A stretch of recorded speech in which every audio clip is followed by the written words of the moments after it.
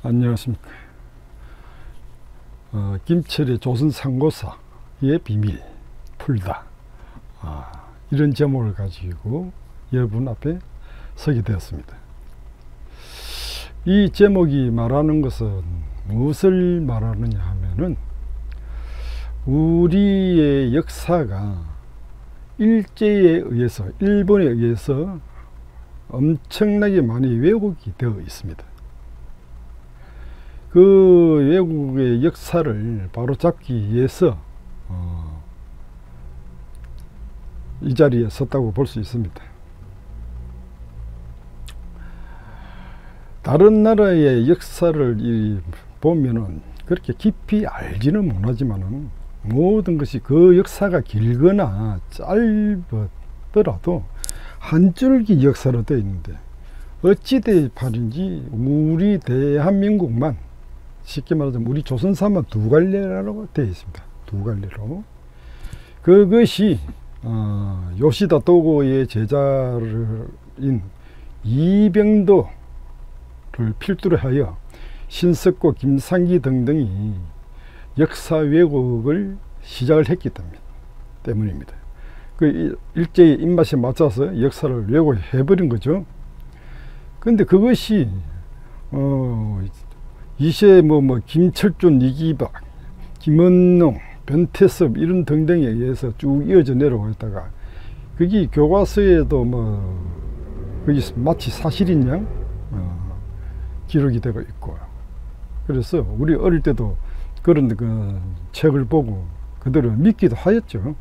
어, 특히 당문신화 같은 거는 어, 아무리 생각해도 어릴 때도 보는 말도 안 되는 이야기지만은 뭐 그렇게 이제 그렇게 믿었죠. 그렇게 글이 써가 있으니까. 그런데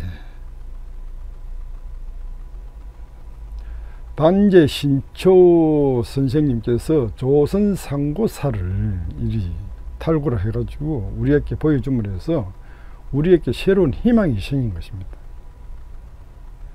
그래서 민족사관을 주창하는 모든 학자들이 어, 조선 상고사를 중심으로 해가지고 어, 민족의 정기를 세우기 위해서 고군 분투하는 걸로 알고 있습니다.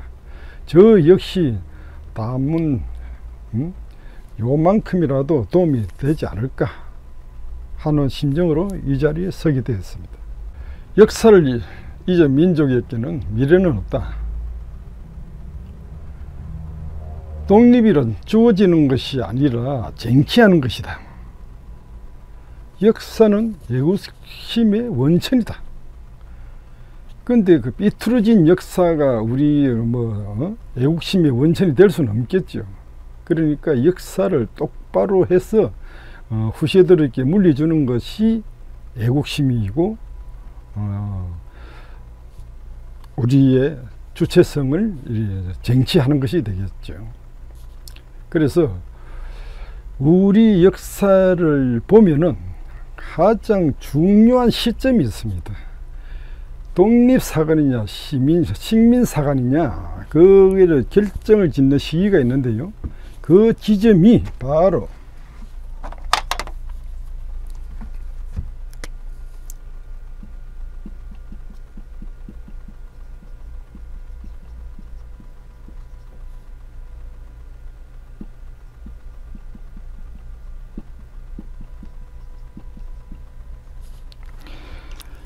고조선의 멸망과 한사군의 설치 요 지점이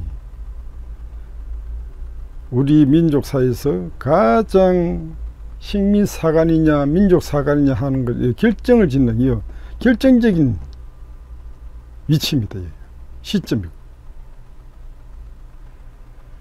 식민사관들의 주장은 어, 한사군 설치를 갖다가 요 평양 이주에서 여기를 요 지점으로 보고 있습니다.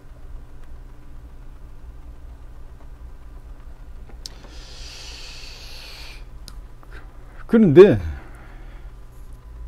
과연 여기인가 하는 걸 이제 그 지금부터 한번 따져보려고 그럽니다. 따져보려고 그러는데 얼마 전에 어 어, 문재인 민주당 정부에서 아니 그뭐 정확하게 말하자면은 이제 민주당에서 꺼집어낸 거죠.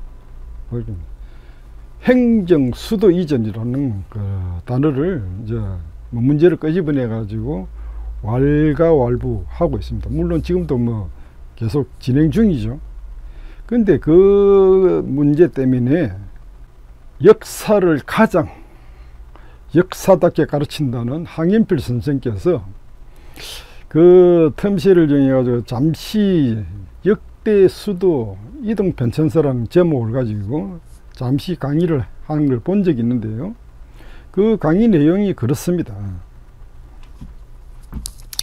여기 예? 여기 금성에서 말하자면 경주에서 뭐 신라가 대구 쪽으로 달부 뭐 달구벌에다가 뭐 옮기를 했다든지 하다가 말았다든지 또 뭐 한성에서 백제가 한성에서 요 웅진으로 수도를 옮겼다든지 뭐 물론 그때 장수왕 때 계로왕이 죽고 뭐 부득이상 이렇게 옮겼겠죠. 또 국내성에서 장수왕이 평양으로 뭐 서울을 옮겼다든지 이런 내용을 설명을 하면서 기자 조선이 여기에 있어 가지고 본래 여기에 있다가 요 지점에 요, 요 지점에 있다가 기자 조선 요 지점에 있다가 연나라 장수 징계한테 쫓겼어 징계. 징계한테 요 쫓기는 요 요서 쫓기 나와 가지고 이쪽으로 도망을 쳐왔다는 거야 기자 조선이 그래서 그 뭐, 역사를 보면은 징계가 여기 여기서 요, 요 북경에서 요리 요리 요리 쳐들어와 가지고 요 쳐들어왔어. 그래서 여기까지 쫓겨왔어. 청청강 끝 넘어서 요 대동강 사이 여기 평양까지 어?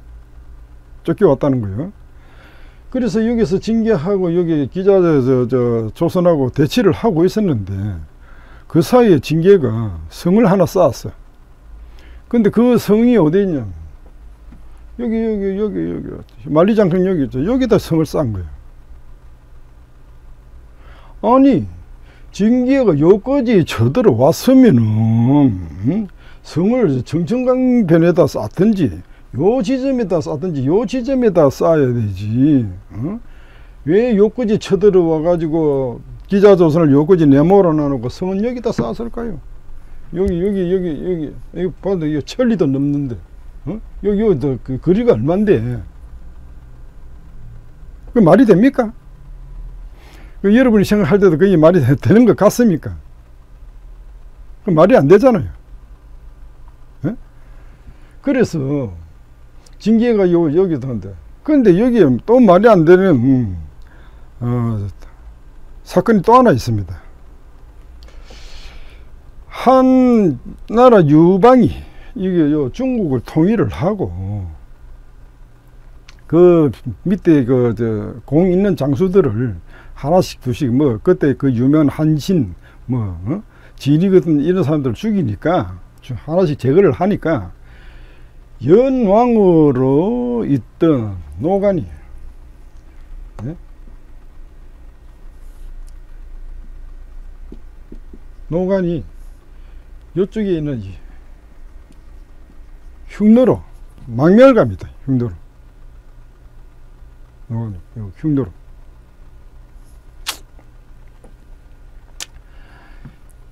근데 그 밑에 요저좀 쉽게 말해서 노관이 여서 요 흉노 쪽으로 도망을 가고 여기에 있던 요 밑에 그 노관 밑에 있던 위만이 한 1천 명의 군사를 이끌고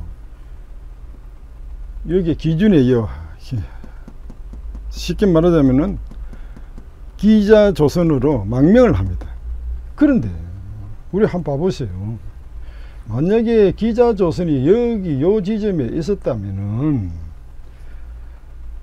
이만이 요 오는 요 도망쳐 오는 경로를 한번 살펴봐 봅시다. 여기에 난화가 있지요. 육과가 있지요. 소룡화가 있죠. 대룡화가 있지요. 요화가 있죠. 여기 뭐 저 저 강연 안 그리 났지만 태사하가 있고 뭐가 있고 압록강 있고 청천강 있고 하나, 둘, 셋, 넷, 다섯, 여섯, 일곱, 여덟. 그 여덟 개. 이거 저 이거 세시한 강은 안 그래서 그렇지. 강이 한 열 개는 돼요. 이 열 개를 그 먹고 지나서 여기를 망명을 왔다. 여기까지 망명을 왔다. 그 상식적으로 말이 됩니까?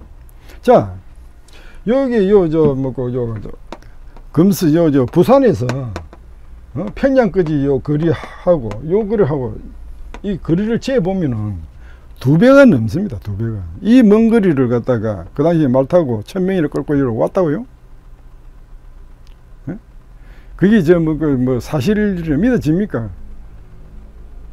우리가 상식적으로 말이 안 되잖아요. 아니 또 요소 도망을 치으면 뭐요 정도 오딱한 거는 이해가 가죠. 그 실질적으로 여기에 왔습니다. 여기가 예? 위치가 뭐 이름이 뭐냐 이 저 이만이 머무른 위치가 한우락이라는 마을입니다. 한우락. 한우락이라는 마을의 기준이 여기에 머물게끔 한 거예요. 요, 요, 요, 요, 육과도 근데 그러니까 기준이 여기서 망명 와봐야 겨우 만리장성을 넘어서, 에? 만리장성을 겨우 넘어가지고, 여기에다가, 여기 도망온 거예요. 새 불가하다. 그러니까 여기서 기자 조선이 여기에 있었다. 이거는 말이 안 된다. 상식적으로 말이 안 되는 거예요. 그래서 이 사실이 부분적으로 때가지고 우리가 그것만 해도 말이 안 되는 건 알겠는데 그런데 우리가 항상 의문을 품는 것이 고조선 조선 우리가 좀뭐 그 이시조선이 있으니까 고조선이라고 분리 이제 어, 구분하기 위해서 고조선이라고 그러는데 이 조선의 멸망을 갖다가 어 우리가 SNS에서 들어 찾아보면은 뭐라고 딱 적혀가 있냐면은 47대의 고불가 당군이 우유부단해서 망했다. 이렇게 됩니다. 물론 뭐 당군이 우유부단하면 망할 수도 있죠. 음, 있습니다. 그러나 과연 이 큰 나라가 당군 하나가 뭐 우유부단하다 해서 망하거나 그러지는 않습니다. 과연 그럴까요? 그러면은 고조선의 멸망이 저 47세 저 뭐고 어? 고불가 당군 때 망했다고 이제 뭐 그저 막을 내렸다 그러는데 그러면은 요거 이제 뭐야 이만 조선의 어? 우구왕은 또 뭐냐 뭐 우구왕은 그러면은 과연 어? 여기 저 저 이만 조선하고 요 요 조선하고 같은 거냐 당연히 그런 의문이 생기겠죠. 그 우리 민족 사학자들은 어? 이만조선하고 우리의 저뭐 그 고조선은 별개의 문제다. 다른 것이다. 이렇게 주장을 하는 것이고. 그래서 내가 그, 그 요, 갑자기 내가 이렇게, 어, 나서게 된 것은 항인필 선생님께서 가장 존경하는 분이 단지 신채호 선생님이라고 하면서 어떻게 해서 신채호 선생님은 어, 삼조선. 쉽게 말하자면은 여기가 진조선이고 여기가 불조선이고 여기가 에? 말조선이에요 말조선. 세 개의 조선으로 나누어서 나라를 다스렸다. 이렇게 주장을 하셨거든요. 분명히 그렇게 주장. 근데 어째서 우리 항인필 선생님은 이 주장을 받아들이지 않고 마치 여기 있던 조선이 여기로 쫓기 와가지고 여기서 멸망을 한 것처럼 이야기를 하시느냐 말이에요. 그러나 그 속으로 큰일 났다. 이거, 난리 났다. 어? 믿고 믿었던 우리 항인필 선생님께서 이렇게 저뭐고 식민사관을 갖다가 앞세워가지고 설명을 하니 이게 보통 문제가 아니지 않습니까? 이 보통 문제가 아닌 거예요. 그래서 아 뜨거라 싶어 가지고 지금 부라부라 내가 이렇게 생경 이렇게 강의를 한번 해보지도 뭐 안 하던 내가 부라부라 났었던 다음 뭐 다행히 만약에 항일필 선생님이 지금은 시간이 없어 가지고 어, 여기 어, 조선사까지 상고사까지 지금 이제 강의할 시간이 없어가지고 지금 뭐 지금 인진외란 같은 거 이런 거 지금 하고 계시는데 시간이 그 이제 다 끝나고 나면 이제, 이제 언젠가는 조선 상고사로 올 것 아닙니까? 그럼 조선 상고사로 오가지고 만약에 지금 여기 어? 역대 수도 이동 편찬서 하면서 주장 저뭐 그거를 받아들여가지고 이만 조선이 여기 여기 있었다고 주장을 해가지고 설 이제 뭐그 역사를 펼치면은 이게 난리 나는 거예요. 큰일 난 거예요. 이게 왜냐면은 어 유튜브들이 보통 보면 보수 유튜브냐 진보 유튜브냐 이렇게 할 때 우리 황인별 선생님보다 진보 유튜브라고 지금 분류를 하고 있습니다. 그 진도 유튜브라는 분이 식민사관을 받아들여 가지고 어? 여기에 기자조선이 있었다. 우고왕이 마지막 왕이다. 뭐 이런 식으로 설명을 해버리면은 우리나라 역사는 완전히 저 뭐야 엎어지는 거예요. 어? 영향력이 많으신 분이 그런 주장을 하면은 이거는 그냥 엎어지는 거예요. 그래서 어, 한일표 선생님이 다음에 조선 상고사 강의를 하기 전에 좀 면밀히 살펴서 우리 역사관의 기초로 하여 즉 말하자면 항인 저 뭐야 신초 선생님의 조선 상고사를 어, 필두로 해가지고 새로운 연구를 좀 더 하셔가지고 어, 좀 역사를 강의를 좀 해주셨으면 정말 어, 고맙겠고 정말로 진심으로 진심으로 부탁을 드립니다. 그래서 다음 시간에는 이제 어, 여기에서 이제 우리가 요 문제로 가지고 왜 내가 어, 조선 상고세의 어, 비밀을 풀다라 하는 제목을 가지고 이렇게 강의를 시작을 하느냐 하면은 단지 여기가 우리가 단막적으로 끊어가지고 방금 설명을 했듯이 뭐 이만 존슨이 여기까지 왜 와가지고 여기서 살겠느냐 뭐 이제 기자 조선이 여기서 쫓기고 왔느냐 이 단편적으로 이야기하면 설명이 잘안 됩니다. 그런데 그전에는 어떻게 되고 거기는 그래서 중요한 거는 고조선은 고조선은 왜 멸망을 했나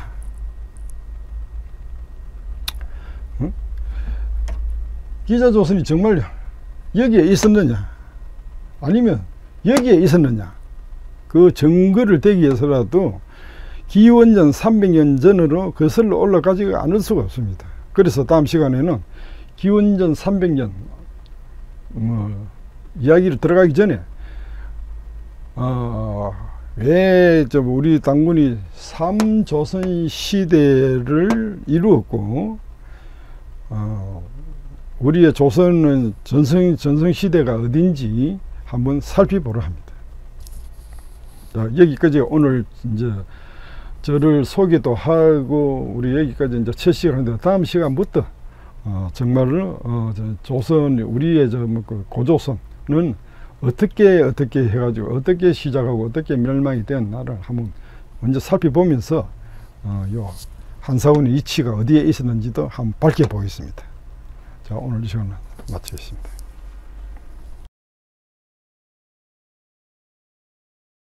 자 오늘이 어, 두 번째 시간입니다. 숨은 비고에 의하면은 BC 1000년에서 700년 그래서 정말 단기로 치면은 1300년부터 1600년까지가 우리 조선의 전성기라고 합니다. 그 이때 우리의 그 영토가 어느 정도 되었느냐 하면은 여기에 여기에 보면은 고죽이란 지명이 있습니다. 고죽. 이 고죽이 아래 저뭐 그냥 괜히 생긴 게 아니고 이게 이 고죽이라는 지명은 옛날 나라 이름을 따가지고 그 요 지방에 고죽이란 나라가 있었다는 거죠. 그게 뭐 그 유명한 뭐저 뭐저 백리에도 뭐요 요 나라 출신이고. 근데 여기 요 요 지점이 고죽이고 요 밑에 여기는 요 또 나라가 우리 조선적 나라가 하나인데 이 나라가 이름이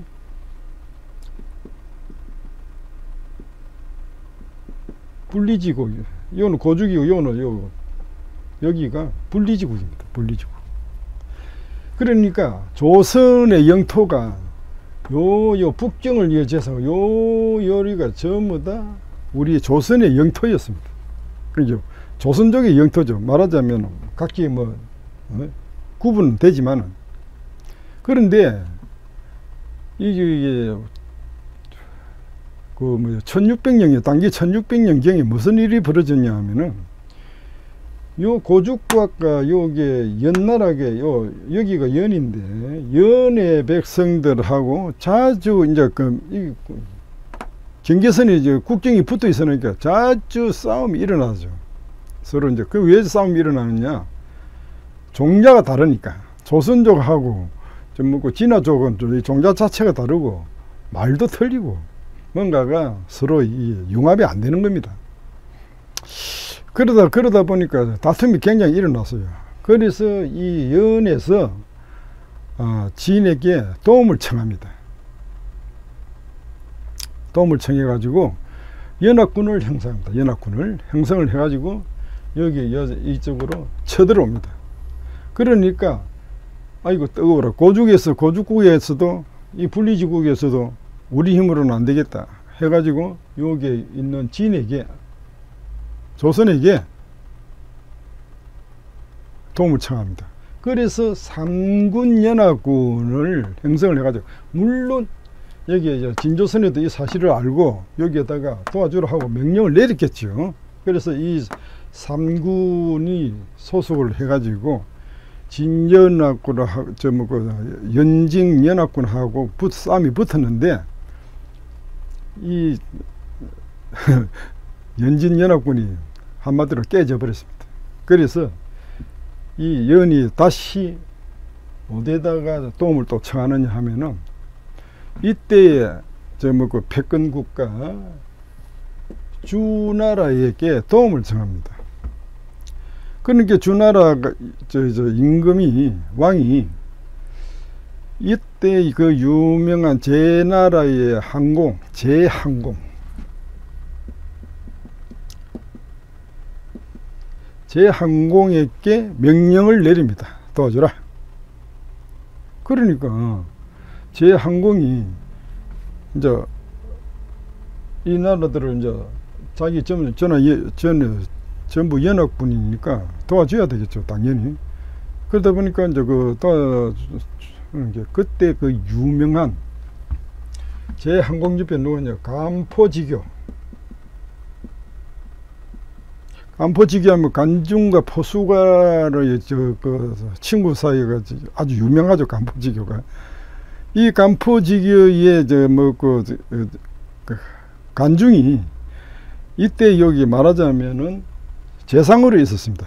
전나라 항공 밑에 제일 높은 벼슬을 하고 있었어요. 그래 가지고 간중하고 성부하기 성부에게 장군 성부에게 명령을 내려 가지고 도와주라 이래 되니까 이제 뭐 이 간중이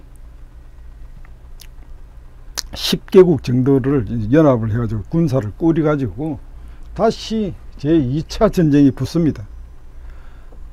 그러니까 이 상군하고 요, 저 간중하고 맞붙었는데, 간중이, 간중이 이끄는 군, 저 연합군하고 중국부터 붙었는데, 완전히 깨져 버렸습니다, 우리가. 그 조선이 접, 요, 요 상군이 져버린 거죠. 그래서 분리지국, 요때 요 고죽국 을 이때 완전히 중국 쪽에 넘겨줍니다. 잊어버린 거죠. 우리, 우리 백성들이 요, 요 선쟁 지으니까 우리 조선족은 이쪽으로 쫓겨나오죠. 그때 그런 길에 이제 쫓겨나면 못 들어가겠습니까? 전부 다 여기 불조선으로 모이겠죠.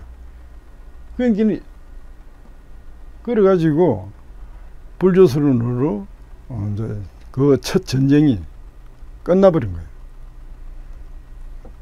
그래서 우리가 여기 잠시 이제 뭐 간중에 관한 이야기도 이제 듣고 이러 하는데 두 번째 그, 그 이후에 어, 우리 이제 저 조선이 이제 여기 여기서는 이제 맥을 멈추고 이제 이쪽으로 이쪽 쪽으로 요 정도로 예, 어? 이쪽으로 쫓겨났단 말이에요. 요, 요, 요 쫓겨나죠. 어. 근데 여기서 우리가 45세 당군, 45세 당군 여러 당군께서 여러께서 항상 이 사실을 좀 분하게 여기고 언젠가는 이 땅을 찾아야 된다고 항상 생각을 하고 계셨어요. 여러 대당군께서. 그래, 그래 하던 차에, 이제 이거 이제 한번 할 긴데, 아, 이게 또 떠다지 않는 사건이 하나 생기네요. 그뭔 사건이냐? 이 불조선의 당군 해인이 불조선 당군 이 해인이 연나라 첩자에 의해서 밤에 암살을 당합니다. 해인 밑에 있어 저, 저 재상으로 있는 사람이 누구냐면은 기후입니다. 기후. 이 기후가 누구냐 하면은 옛날 주나라 700년 전에 주나라 때 망명 온 기자의 자손입니다. 기자의. 기자의 이제 자손인데 이게 이때 왜 해인이 암살을 당했냐 하면은 이 해, 젊은 당군이 아주 좀 개혁적이었습니다.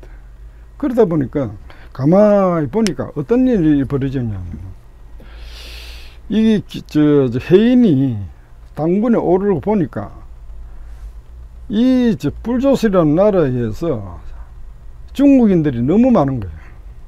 많고 조정도 이미 가만히 보니까 어? 중국 사람들이 거의 뭐, 뭐, 그, 뭐 태반을 넘게 차지를 하고 있으니까 형평성이 맞지도 않고 그 이게 중국 사람들 세력이 너무 이제 크다 이래하여 조금 조정을 할 필요가 있었던 거죠.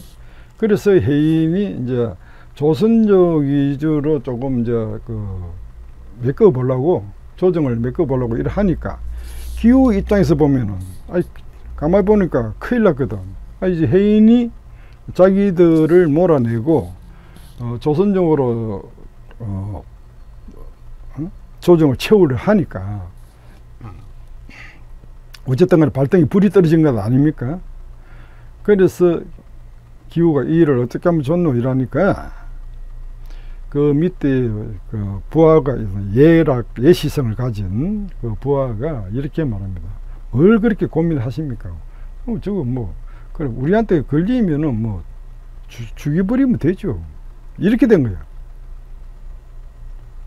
그러니까 기후가 어?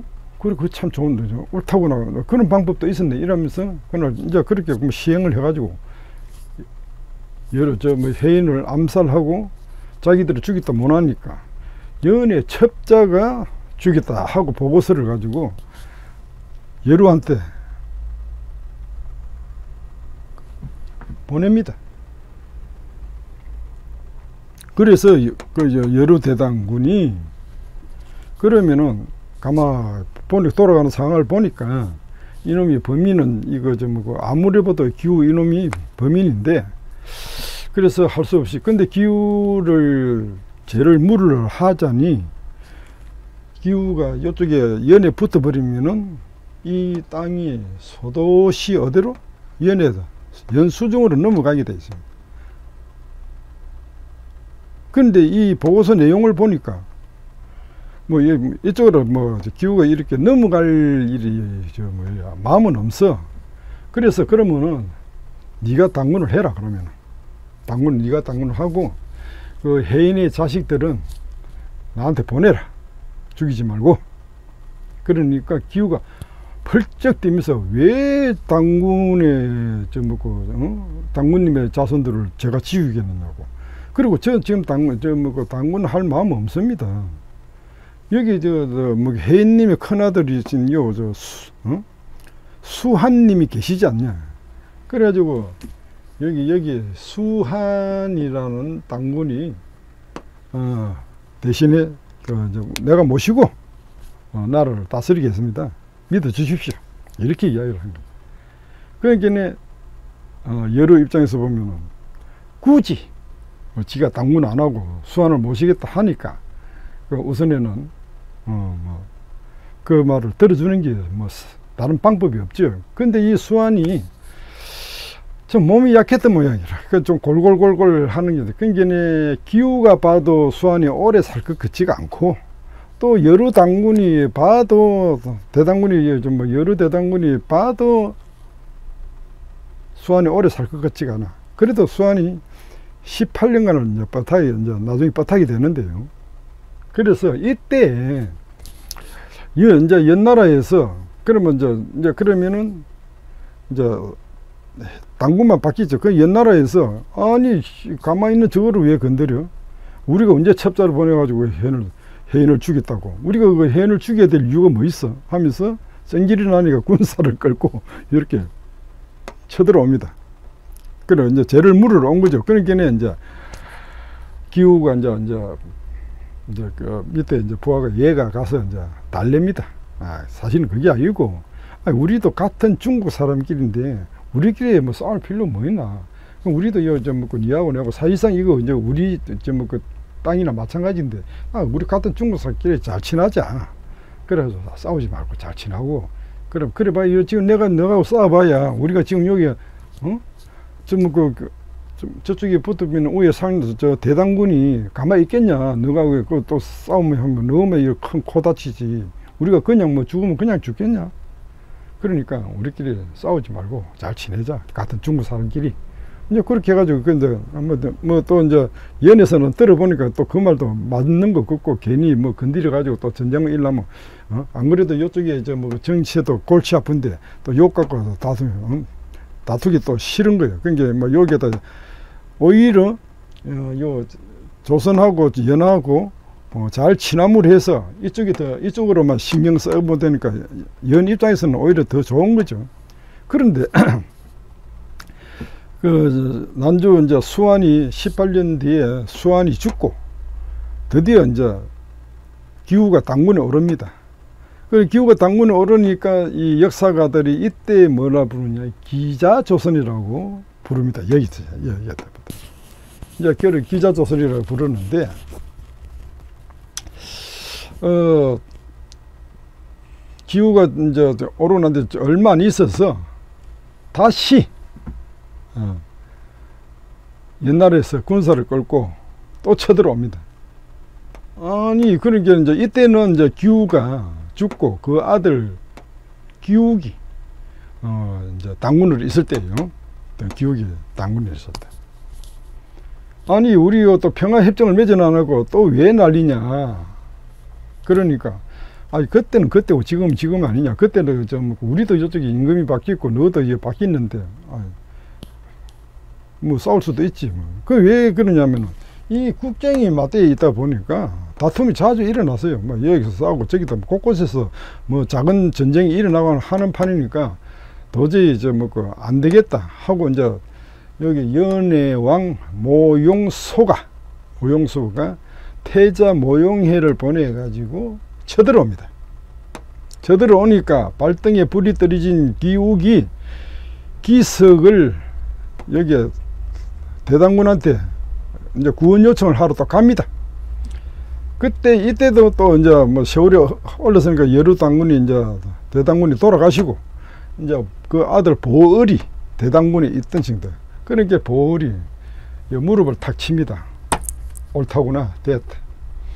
그 왜 그러냐 하면은 이 보을이 생각할 때 이 연을 치우고 싶어 가지고 이 잃었던 땅을 찾고 싶은데 이게 요 기후 요좀뭐 기자 조선인데 기후나 뭐 그 아들 기석 저 저 저 뭐 기후 뭐 기석 이런 애들이 확실하게 우리 편인지 아닌지를 모르겠는 거야 애매한 거야 그런데 다행히 기욱이 자기 밑으로 스스로 고개 숙이고 기 들어오니까 찬스는 이때다 하고 이제 시작을 한 거야 그래가지고 여기에 평양에 있는 군사와 여기에 본부에 있는 군사하고 여기 군사하고 또 여기에 허 대형 안령 산맥이라 하는 거. 여기 여기에 누가 있느냐 하면은 조선의 속국인 말하자면은 보호를 받는 선비족.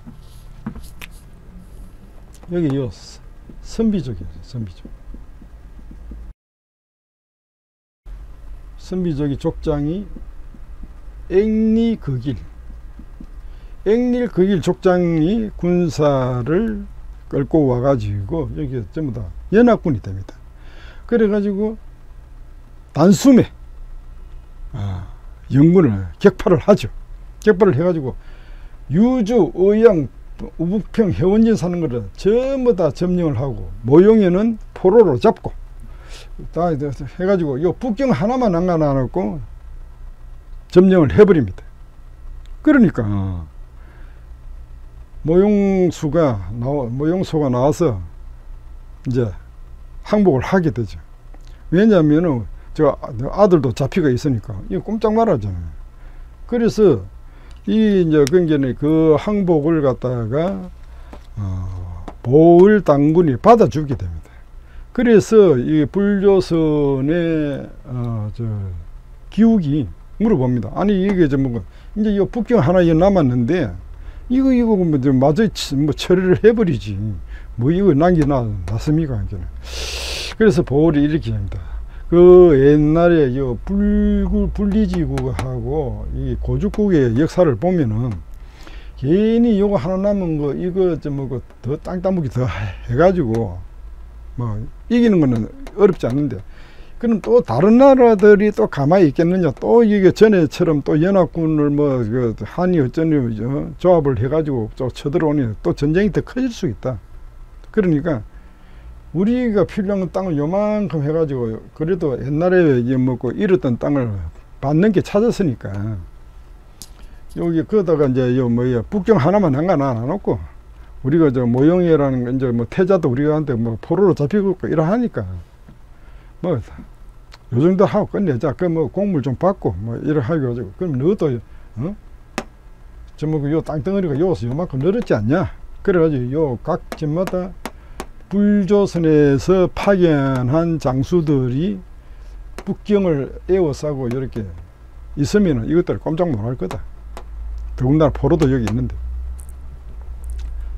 그렇게 해서 전쟁이 끝이 납니다.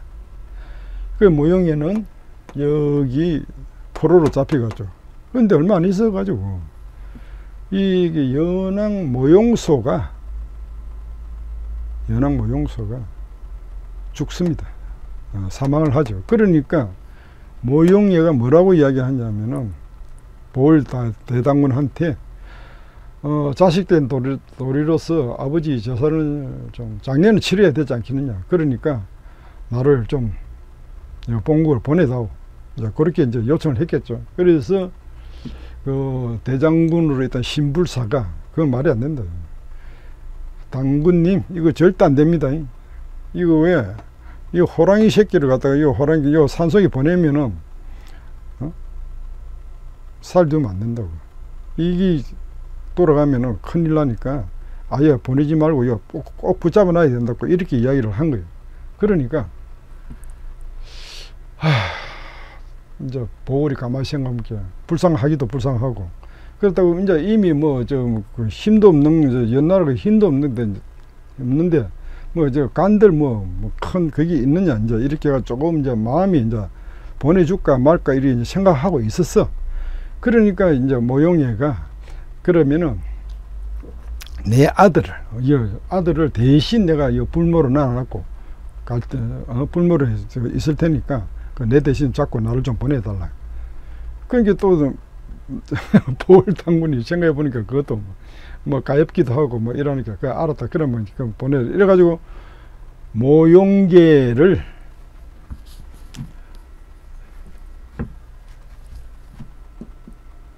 모용계를 대신에 여기다 불물을 주고 본인은 무사히 북경으로 탈출을 하게 됩니다. 근데 뭐 장례 끝난다고 돌아올 생각도 안 하죠. 아, 바보 이상 돌아오겠습니까? 그 겨우 빠져나오는데. 그래서 이제 빠져나오는 거 이제 돌아갈 생각 안 하니까. 근데 요 모형계란 놈이 또 걸물이라. 그러니까 가서 보울 대당군한테 입안이 혀처럼 살살거리고 막 이렇게 막 온갖 보울에 막 어? 비를 다 맞추고 이러 하니까 이 보울 당군이 이 모형계를 너무너무 사랑하고 귀여워합니다. 아이고 나도 이런 자식 하나 있었으면 좋겠다 할 정도로 막 하는데 그래서 하던 차에 여기 있던 요 신불사 대장군이 어, 사망을 합니다. 근데 그 장례 치느라고 어수선한 탐으로서 모형계 이놈이 또 도망을 치버렸네. 그, 그런데 이 모용계가 요 도망을 치는데 이 사람이 누구냐? 그 유명한 징계입니다. 징계. 그 이놈이 모용계 아들을 이장을 하고 들어간 이거 저 뭐야 대신 불무로 있다가 여기서 온갖 군사 기밀을 다 알아가지고 도망을 치가 지고 가자마자 그동안 모용해가 전부 저좀 군사를 길러놨던 군사를 몰고 단번에 해원진, 의평, 의양, 유저를 다 탈환을 해버립니다. 그래가지고 군사 이 여기 있는 군사들이 다 쫓겨서 어, 이쪽에 불조선으로 쫓겨오니까 징계가 뒤에서 징계를 해가지고 축격을 해가지고 여기서 어? 요 자리에서 대치를 하는 거예요. 그 육과 육, 육과를 놔주고 이제 서로 이제 대치를 하는 거예요. 그래 하면서 징계가 그 대치하는 와중에 여기에 뒤에다가 성을 쌓는 거예요. 그게 뭐냐면 요 만리장성이에요. 만리. 무슨 말인지 알겠죠? 그런데 뭐 식, 뭐 식민사학자들은 징계가 요까지 다 쳐들어와 가지고 평양까지, 어? 요, 요 군사들이 여기서, 요, 뭐, 저, 물린 요 군사들이 평양까지 쫓겨와 가지고 뭐, 여기다가 뭐 징계가 요까지 쳐들어왔냐는, 그러면 우리끼리 전번에도 얘기했지만, 아니, 요 쳐들어왔으면 요 성, 요 성을 여기다 쌓아야지. 왜 여기다 쌓아? 어? 여기 여기서 뭐그 천리 넣는 게 떨어진 여기 어쩌 뭐그 어? 천리 넣는 게 떨어진 저 뭐그 요왜 여기다 쌓냐고 여기다 안 쌓고 아, 여기다 성을 쌓아야 되거든요. 그러니까 말이 안 된다는 거죠. 그러니까 여기서 조선이 있었다는 거는 기자 조선이 여기 있었다는 그 말 자체가 이미 그 말이 안 되잖아요. 상식적으로 생각을 해도. 그러니까 이 어처구니 없는 걸 갖다 주장을 하니까 문제가 되는 거죠. 근데 이 더 큰 일인 것은 어? 우리가 믿고 따르는 항인필 선생께서도 여기서 이저 식민 사안을 받아들여 가지고 징계가 여기서 다 차지를 해가지고 기자 조선이 요 쫓기 왔다고 주 그렇게 말씀을 하시니 이 큰일 아닙니까? 어? 내가 그 영상을 보고 밤에 잠을 못 잤습니다. 뜬 눈으로 밤을 샜어요. 이걸 어떻게 하는? 예. 이 노릇을. 이 노릇을 어떻게 하느냐. 그래서 요렇게 해가지고 이제 징계가 요, 여기다 성을 싸움을 해서 어떤 일이 벌어지냐. 그러니까 아, 요쪽에서 보니까 징계가 저기 성을, 저기 성을 쌓고 요 수비를 하, 하러 가는 거 보니까 더 이상 싸울 마음이 없구나. 그 징계도 이, 저, 저, 먹고 어? 불조선을 저 눈치를 보면서 구, 기른 군사가 몇 되지도 않게 이 군사를 가지고 뭐 어떻게 해볼 도리가 없으니까 수비하는데 급급한 거죠. 일시적으로 공격을 해가지고 승리는 하였으나 더 이상 진격은 어렵다. 그래서 여기다가 성을 쌓고 여기서 수비에 들어간 것에 불과하다. 그래서 여기에 어, 예. 그 뒤로 좀 평화가 찾아옵니다. 언제까지? 진시황이 사망할 때까지. 그러니까 그건 한 100년 넘게 요 틈에서 여기에서는 전쟁이 일어나지 않습니다. 그 전쟁이 일어나지 않는 그, 저, 기록에 보면 또 그게 이제 뭐 표가 나는데요. 기, 저, 후가 당군이 되고 난 뒤 그 아들 기우기 때, 어, 잠깐 이제 이런 전쟁이 있었죠. 아까 그 징계 장군하고 이렇게 이렇게 이제 있었는데 그 뒤로 어 기육 다음에 기석, 기윤, 기비, 기준 이렇게 6대 그 쪽이 있었는데 그 앞에 쉽게 말하자면 역사에서 거의 뭐 저 기윤, 기비, 이제 뭐 기석, 기윤, 기비는 거의 역사적으로 이 문에 나타나지가 않습니다. 그러니까 그 당시에는 전쟁이 없었다는 거죠. 그, 그 세월이 한, 저, 3대 세대 이루어지니까 한 100년간은 이제 뭐, 그 요쪽에 평화가 있었다는 증거죠. 증거죠. 그래서 진시황이 죽자, 그 유명한, 이제 그, 초안전이 벌어지죠.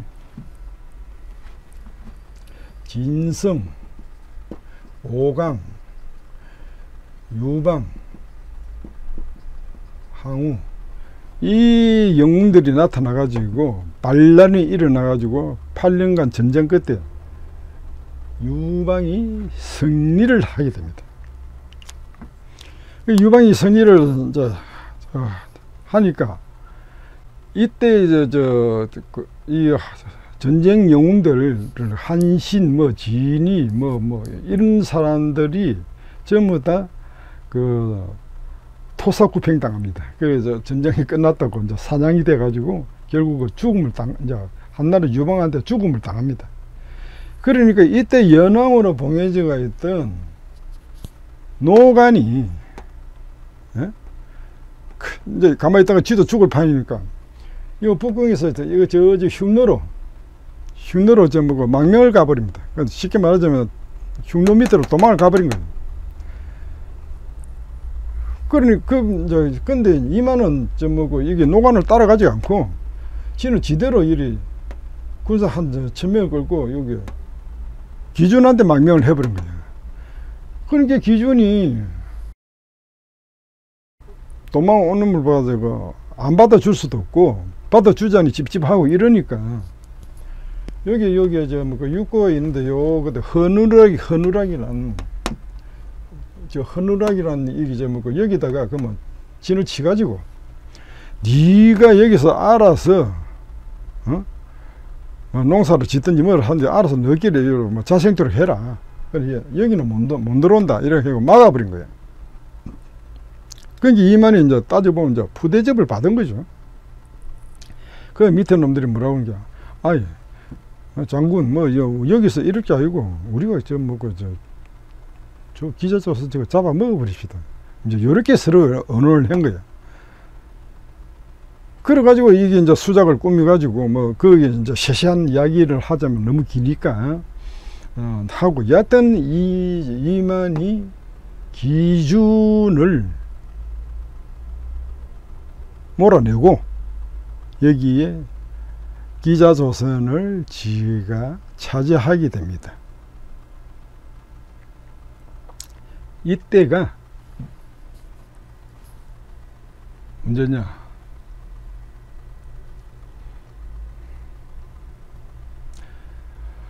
BC 194년 단기 2139년이죠. 기준이 맞 이제 그 기준을 저뭐그 아, 이만이 기준을 몰아내고 이만 조선을 세우게 됩니다. 그러면은 이때 기준이 어서 이제 쳐들어오니까 이걸 쫓겨나 가지고 도망칠 때라고는 양 사방에 이 말이 막아서 도망칠 때라고는 바다밖에 없었습니다. 근데 요때 이게 이때 요 바다 요 해군을 이렇게 이게 저 뭐고 간장을 하는 사람이 지, 지금 말하자면 이제 해군 사령관이겠죠. 해군 사령관이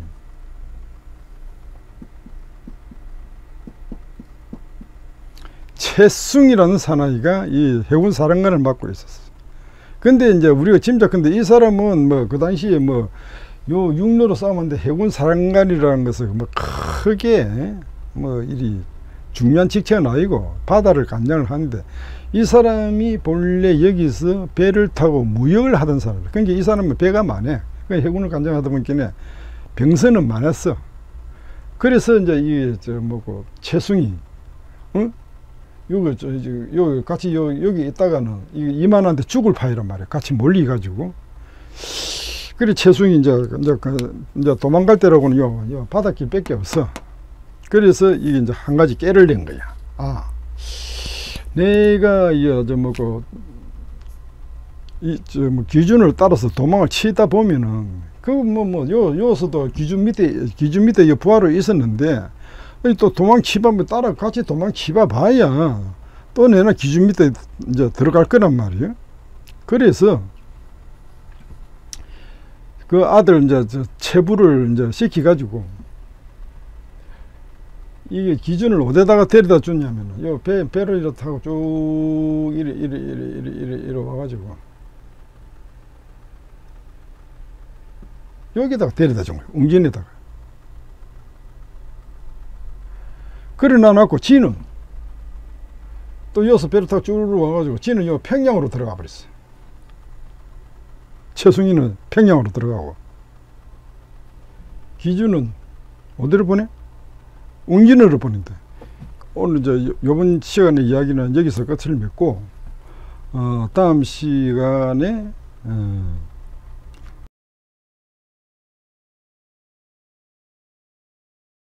자, 세 번째 시간에 저번에 이제 이게 기준이 이렇게 도망 온 것까지 이야기를 했죠. 그러니까 요 이야기는 잠시 미루두고 이때 이때에 어 한나라가 이게 저 뭐고 요 통일을 할 때 이때에는 흉노가 이때 그지 굉장히 번창을 했는데요. 요, 요 지금 흉노가 흉노의 이게 저 뭐고 그때 이 흉노의 흉노가 그때는 뭐 이 나라의 틀을 이리 어 간직하지는 못한 것 같아. 그러니까 뭐 쉽게 말하자면 이 동네 저 동네에 이제 무리를 지어겠다. 그 중에서 제일 센 무리 말하자면은 흉노적 다 모이라 이러면 그 밑으로 이제 그 대장을 중심으로 해가지고 이제 모였다가 흩어졌다가 이렇게 이제 해 모양인데 이 그 중에서 제일 센 그 뭐그 두목 이제 제일 큰 우두머리가 두만. 그 밑에 모든 그런데 요 두만이 요 두만이 사랑하는 첩이 있어 첩이 있어 가지고 두만은 그 첩의 아들을 갖다가 자기 후계자를 삼고 싶은 거예요. 그러니까 후계자 삼고 있는데 이 모돈이 만만치가 않으니까 이 모돈이 없어져야 이 후계자한테 이제 자리를 물려줄 것 아니에요? 물려 물려 이제 줄 거니까 이 모던을 갖다가 이쪽에는 돌거리에다가 인질로 보내고 인질을 보내놔 놓고 두만이 인질을 보내는 그 돌거리에다가 침공을 합니다. 그러니까 돌거리에서 우리가 요 그 흉노가 침거를 침공을 했으니까 성이 나니까 모돈을 좀 죽이더라 이제 그런 뜻이죠. 그런데 모돈이 우찌 우찌 안 죽고 살아서 이 다시 돌아왔습니다. 이쪽에는. 그러니까 두만이 어쩔 수 없이 아, 모돈에게 할 수 없다. 그러면 네가 기병 1만을 네가 좀 길러봐라 하고 이제 일거리를 하나 준 거예요. 그래 주니까 알겠습니다 하고 또 가더만은 이제 그날부터 이제, 이제 군사 훈련을 시키는 거예요. 훈련을 시키는데 모돈이 쓰는 할 이름이 할이 어떤 할이냐 할 이름이 명적이야 명적.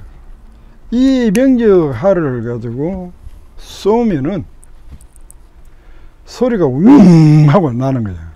그러면 옆에 사람들이 또, 어, 저 할만 쏘면 소리가 나니까 그거 다 보게 돼 있어.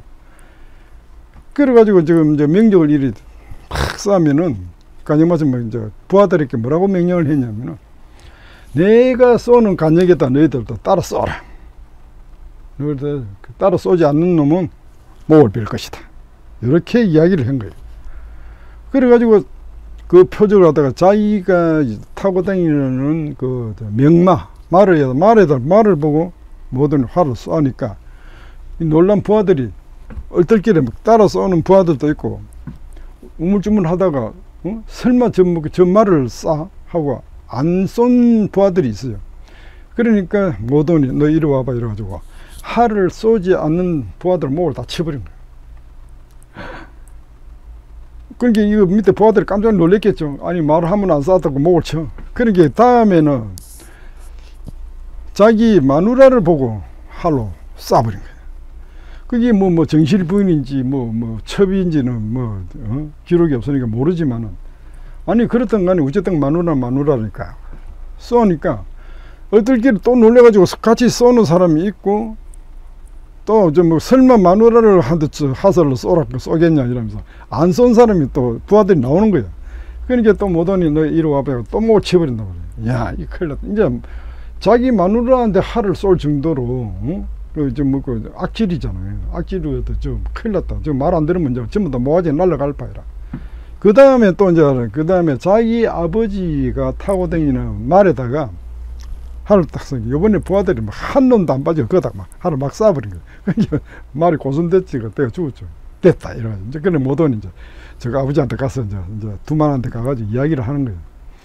아버지가 말씀하시던 기병 1만을 훈련 다 시켰다. 시켰고, 그 이제 그것도 저 사회를 할 겸 한번 이제 뭐 사장도 갈 겸 아버지 한번 오시죠. 이래가지고.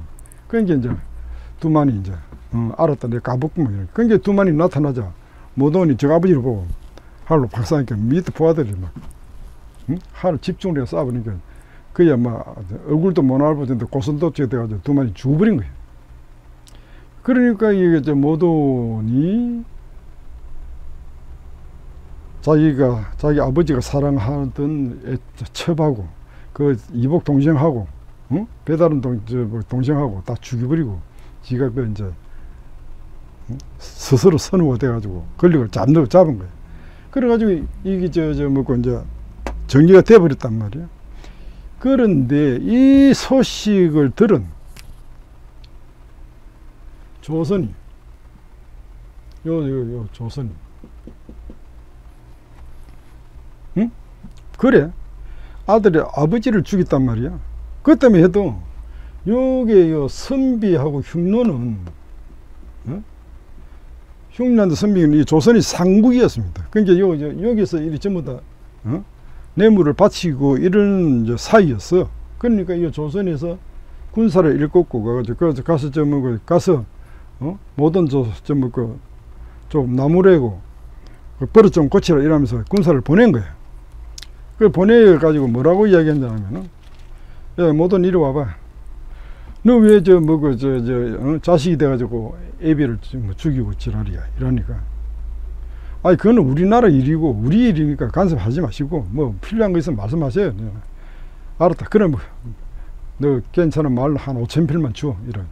아 그래요. 그러면 5천 필 드릴게요. 하고. 근데 이제 5천 필을 조선에서 준 거예요. 그래가지고 이제 와서 이제 고불가 당군한테 이제 보고를 하니까 자 여기서 고불가가 나옵니다. 어? 조선도 나오고 그런데 여기 이제 그 이야기를 하기 전에 또 하나의 기록을 한번 살펴보세요. 중국사에서도 지금 얼마 전에 만리장성이라는 다큐멘터리 하면서 여기에 모든 이야기가 나왔습니다. 묵돌 이래가지고 이거 나왔어요. 그런데 요 기록에 보면은 묵돌이 묵돌이 동호 동호를 크게 무찔렀다 라는 기록이 있습니다. 아주 크게 아주 크게 그러면은 이 문제는 이 저 저 우리가 흉노 뭐 흉노 선우 뭐서저 뭐고 선비 뭐 선비 이렇게 하는데 이 동호라는 그 명칭은 뭐냐 이거는 나라 이름도 아니고 동족 이름도 아니고 어? 그냥 그 무리들을 갖다가 초괄적으로 이리 부르는 이름입니다. 자 동호란 뜻은 뭐냐?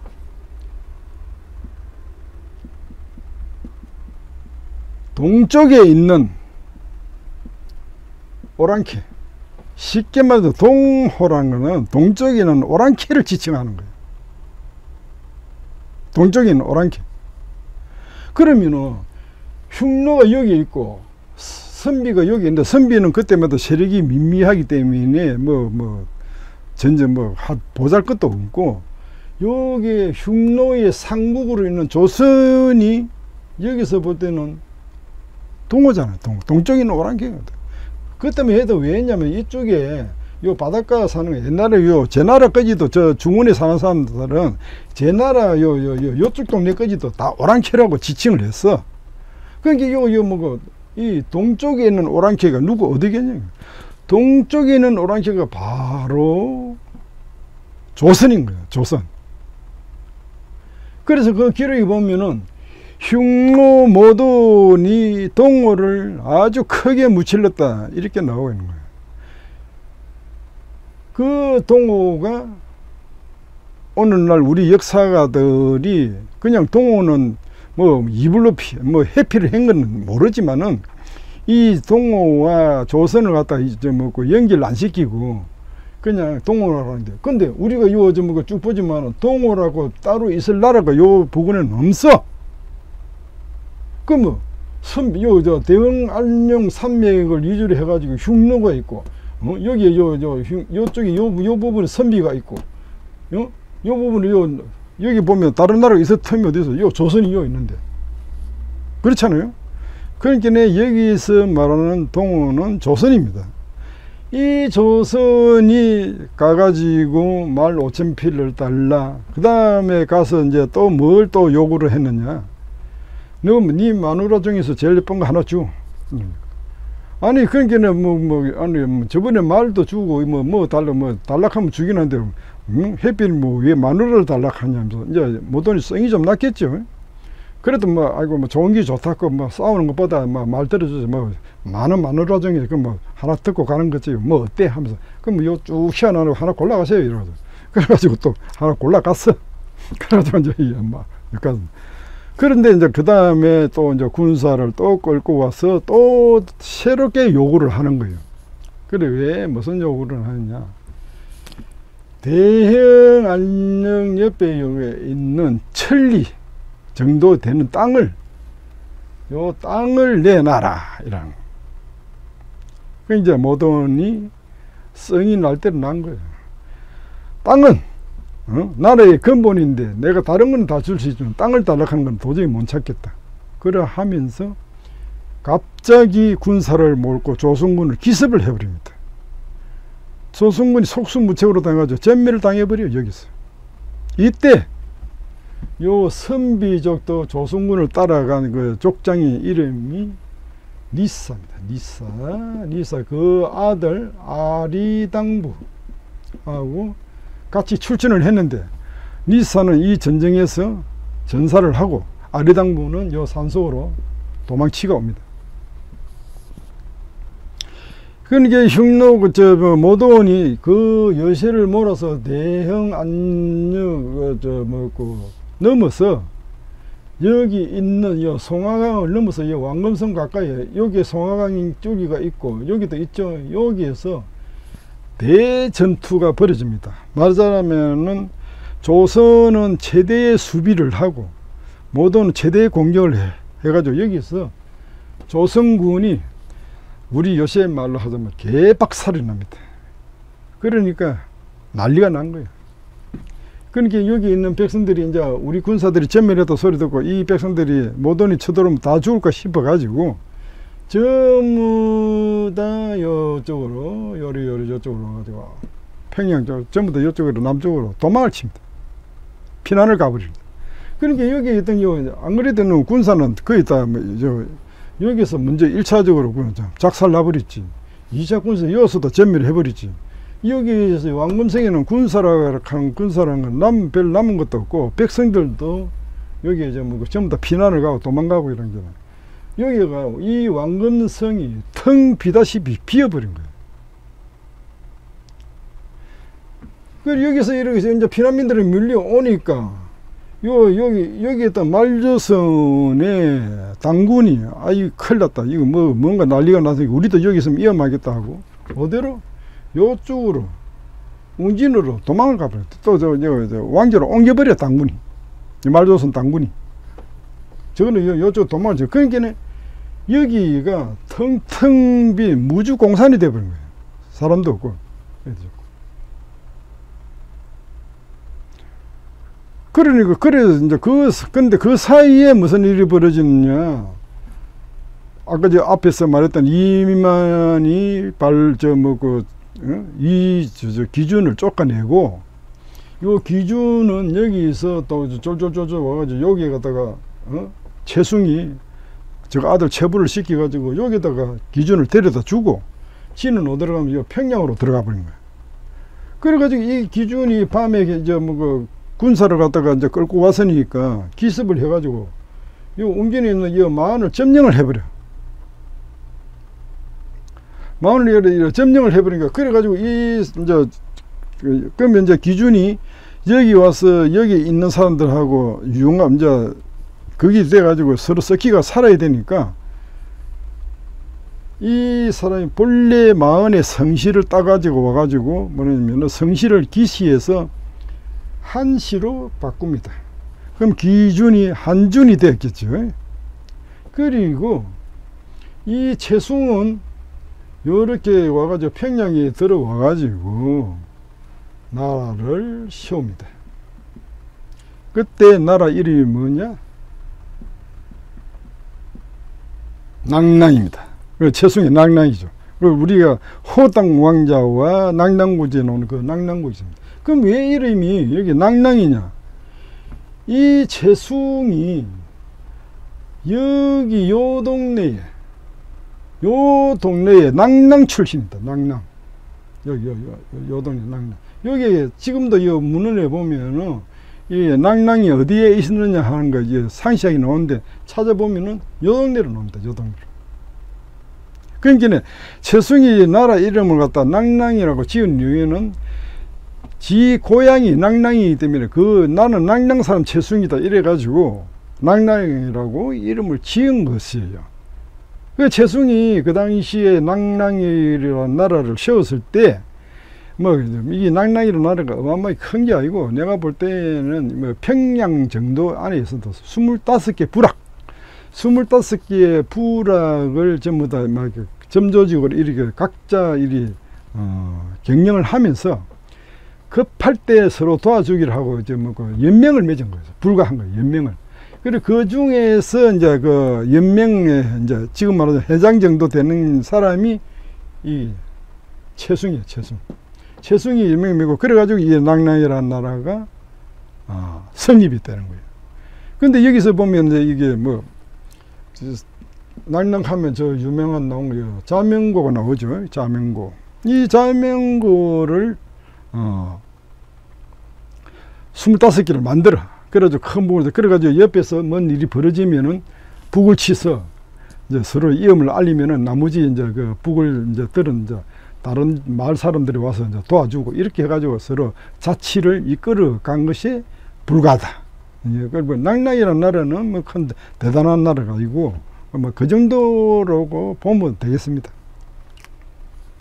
그래서 최수웅은 여기 와서 낭낭이라는 나라를 세우고 기준은 여기까지 웅진에 와서 마흔이라는 나라를 찾아가 마흔의 왕이 되고 어. 여기까지가 지금 현재 요저 이제 변천사에서 일어나는 겁니다. 자, 그러면 이제, 이제 그런데 그 와중에 어, 또 여기 여기 왕금성에서는 무슨 일이 벌어졌냐?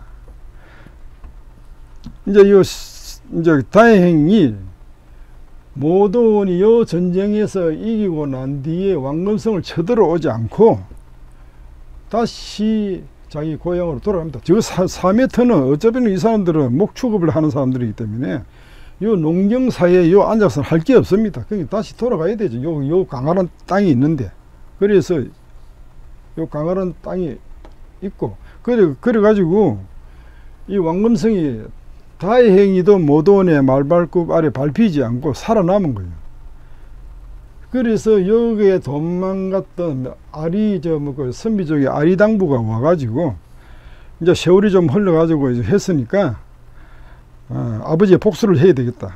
그래서 우리 요저 흉노를 치자 힘을 합쳐가지고 이러니까 고불가 대장군께서 그 지금은 이제 힘이 없다. 우리는 군사도 없고 백성대로 다 비난가고 사람도 없는데 뭔 군사를 가지고 뭐뭐 뭐 상대를 하겠느냐. 그러니까 그 니도 잊어버리고 그만 조용히 살아라. 이래가지고 돌려보낸 거예요. 그래가지고 아리당보가 이제 아 옛날에 그, 그, 그 어, 용맹스럽던 고불가 당군은 이제 안 계시는구나 하고 울면서 자기 이제 고향으로 돌아갔다는 이제 말이 있고 그런데 이제 고불가가 어, 이렇게 이야기합니다. 나는 더 이상 나라를 경영할 힘이 없다. 힘이 없으니까 나 대신에 현명한 사람을 추대를 해가지고 새로운 당군을 모셔라. 나는 은퇴하겠다. 그래 해놔놓고 뭐 고불가 하던 것은 뭐 한 1년 있다가 뭐 돌아가셨다고 그럽니다. 그러니까 이때에 이 보면은 이 저 조선이 어떻게 이게 저 뭐고 나라 경영이 되었냐 하면은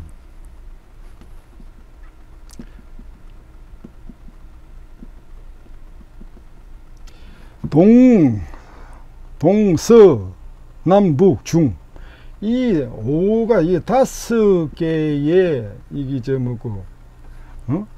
대신 대인들이 대인들이 이거 저 형성이 지금 말하자면은 뭐 응? 옛날로 치는 것도 요새만 또 육부 뭐 대신 이런 저, 저, 저 귀족들이 되겠죠. 이 귀족들이 모여 가지고 나라 일을 어, 의논해 가지고 결정하고 이렇게 했습니다. 이렇게 한 것 같아요. 그때 뭐 고구려도 나중에 이 제도를 받아들여 가지고 뭐 연나분이 뭐 잔란분이 삼이서 어, 그래 가지고 뭐 이 동서남북 중 이 제도를 그대로 고구려에서도 쓰고 있습니다. 그 유명한 연개 소문도 뭐 연나부 출신이라고 그러죠. 그래서 어, 이렇게 여기에서 이때 그 유명한 해모수가 등장을 합니다. 해모수. 그리고 또 헤브루가 등장을 합니다. 해모수와 헤브루가 등장합니다. 근데 이, 저, 이 이야기를 들은 해모수가 어느 날 웅심산, 지금의 뭐, 뭐 완주산이라고 그러죠. 어, 웅신산에서 어, 저 자기가 천신의 아들이라 하면서 하얀 옷을 입고 하늘에 마치 하늘에서 내려온 것처럼 해가지고 그 밑에 많은 사람들한테 숭배를 받게 됩니다. 근데 숭배는 많은 사람이 해야 뭐 자기가 뿌리는 가병 쉽게 말하자면은 자기들 부하들이겠죠. 그 부하들 앞에서 자기가 천신의 아들이다 이래 해가지고 나타나서 이제 뽐냅니다. 근데 자 우리가 여기서 주목해야 될 것이 한 가지가 있어요. 해모수, 해부르 여기 갑자기 해시가 등장합니다. 해시가. 그런데 우리 첫째 시간에 그러면 이 사람들이 보면은 해모수가 갑자기 이제 그때 저 나이가 23살 때라는데 23살 먹는 해모수가 무슨 그뭐 그 대단한 그게 있어가지고 이렇게 나타나겠냐. 이 사람은 근본적으로 귀족의 아들이 귀족. 이, 이 집안이 귀족 집안이에요. 그러니까 밑에 또 가병들을 부하들이 거느리려 하면 돈 없으면은 묵을 게 없으면 그 가병들이 붙어 있겠습니까? 그 가병들을 거느린다는 것은 그만큼 돈이 많고 음, 부잣집 도르입니다. 도르입니다. 이거죠. 그러니까 이제 그 가병들이 가지고 그 해모수가 출몰을 한 거예요.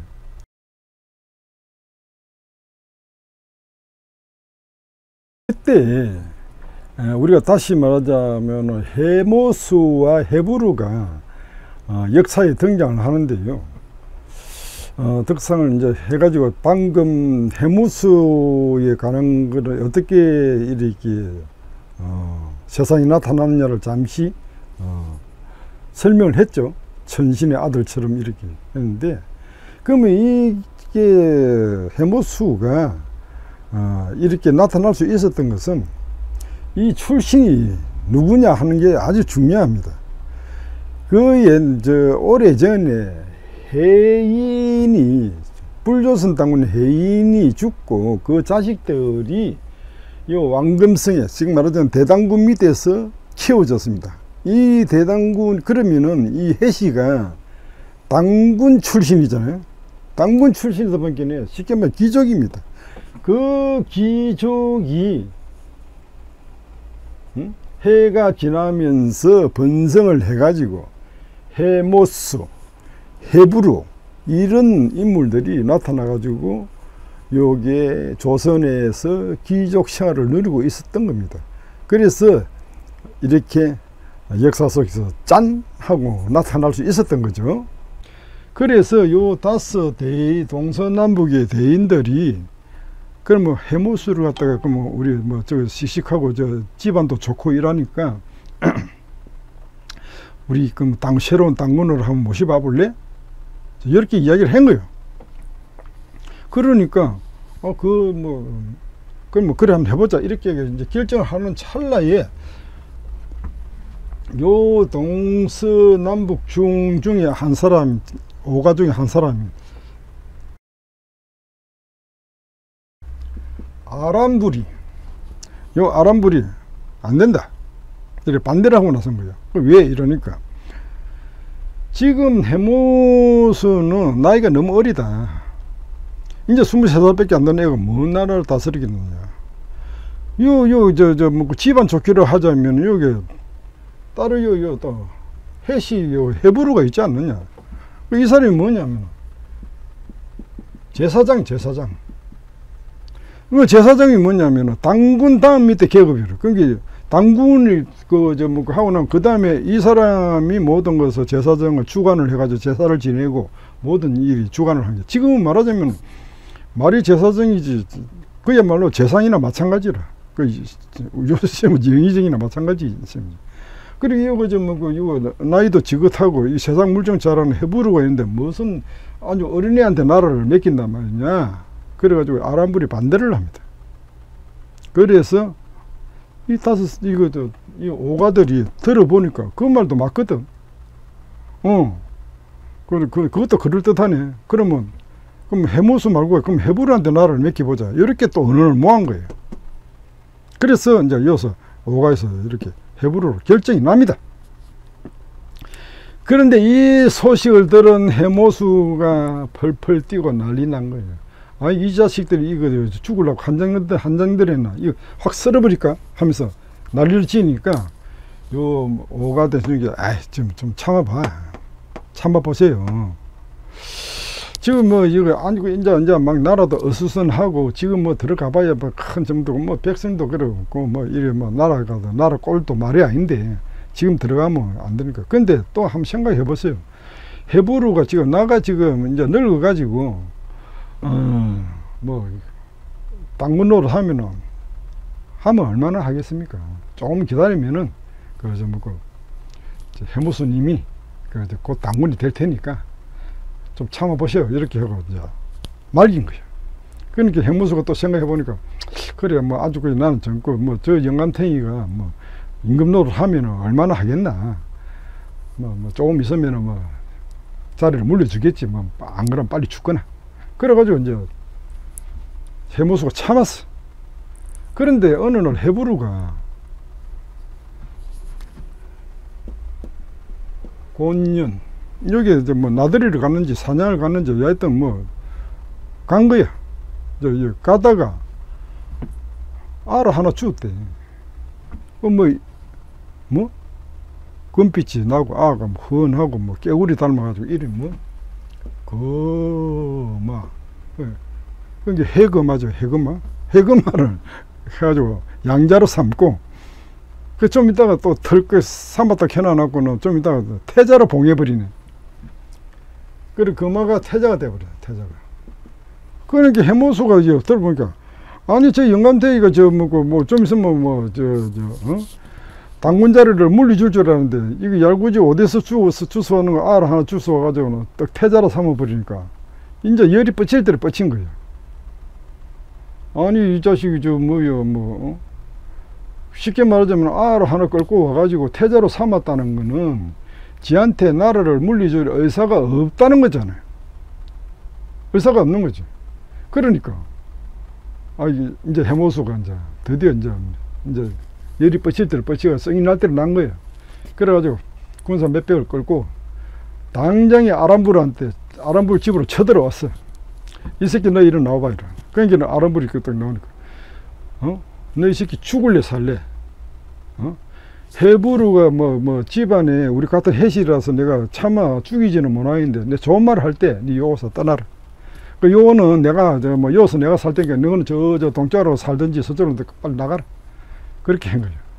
그러니까 아람불이 막 생각해 보니까, 이게, 이게 이제 요번에는 장난이 아니거든. 이게 뭐, 해모수 하는 게 장난이 아니라, 이거 이러다가 죽겠다 싶은 거예요. 그래서 이제 그 다음날, 어, 해부루한테 가가지고, 여기는 뭐 우리가 있을 땅이 못 되고 저저 동쪽에 가면은 기름진 땅이 있다니까 거기 가서 다시 나라를 세웁시다. 그래가지고 여기는 그만 치사하고 더러워서 물 납시다. 이러고. 그래가지고 이제 요 지금의 훈춘 그 뭐지 영어로 하면 갈사나 요 저뭐 여기서 요 훈춘으로 이쪽으로 와서 나라를 다시 세웁니다. 그리하여 사람들이 어, 부를 때 여기는 동부여. 그, 요, 그, 요는 부여인데, 그럼 이제 사람들이 분류를 해야 되잖아. 그래서 요거를 해모수의 나라를 갖다가 북부여라고 부르는 거예요. 그런데 여기서 이제 논쟁이 되는 점이 하나 있어요. 그게 뭐냐면, 그럼 왜 하필 나라 이름이 부여냐? 그 부여는 어디서 온 거냐?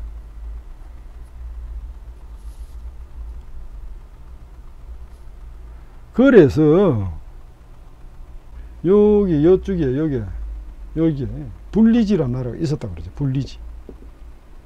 근데 이 불리지국이 그냥 이게 따로 뭐 이름 있는 게 아니고 이게 여기에서 주인이 누구냐면 불리지라는 사람이야. 그러니까 이 사람이 세운 나라다 해서 사람들이 불리지국이라고 부른 거야. 그 당시에는 그런 거예요. 그러니까 중국에는 뭐 수, 제, 뭐, 뭐, 예를 들어서 한자로 가지고 나라를 냈는데, 우리 조선에는 사람 이름을 따서 그 나라 이름을, 어, 쉽게 막 부르는 거예요. 그러니까 여기에 조선이 없어지고 해부루가 왕이 됐어. 그러면 사람들이 밖에서 볼 때면, 어, 부루왕이에요. 부루국, 부루국이잖아, 부루국. 근데 그 부루국인데, 이 중국 사가들이 지금 저뭐 그 글을 쓸 때 그냥 부여라고 쓴 거예요. 발음도 그대로. 부르가 아니고 부여라고 쓴 거예요. 그래서 이게 부여가 된 거예요. 그만 딴 거 없어. 여기서 그 이제 이 부여가 해부르의 부르에서 나왔다는 거 그것도 잊지 마시기 바랍니다. 이 이후에 아, 그 이제 다음 이야기가 그 유명한 이제 뭐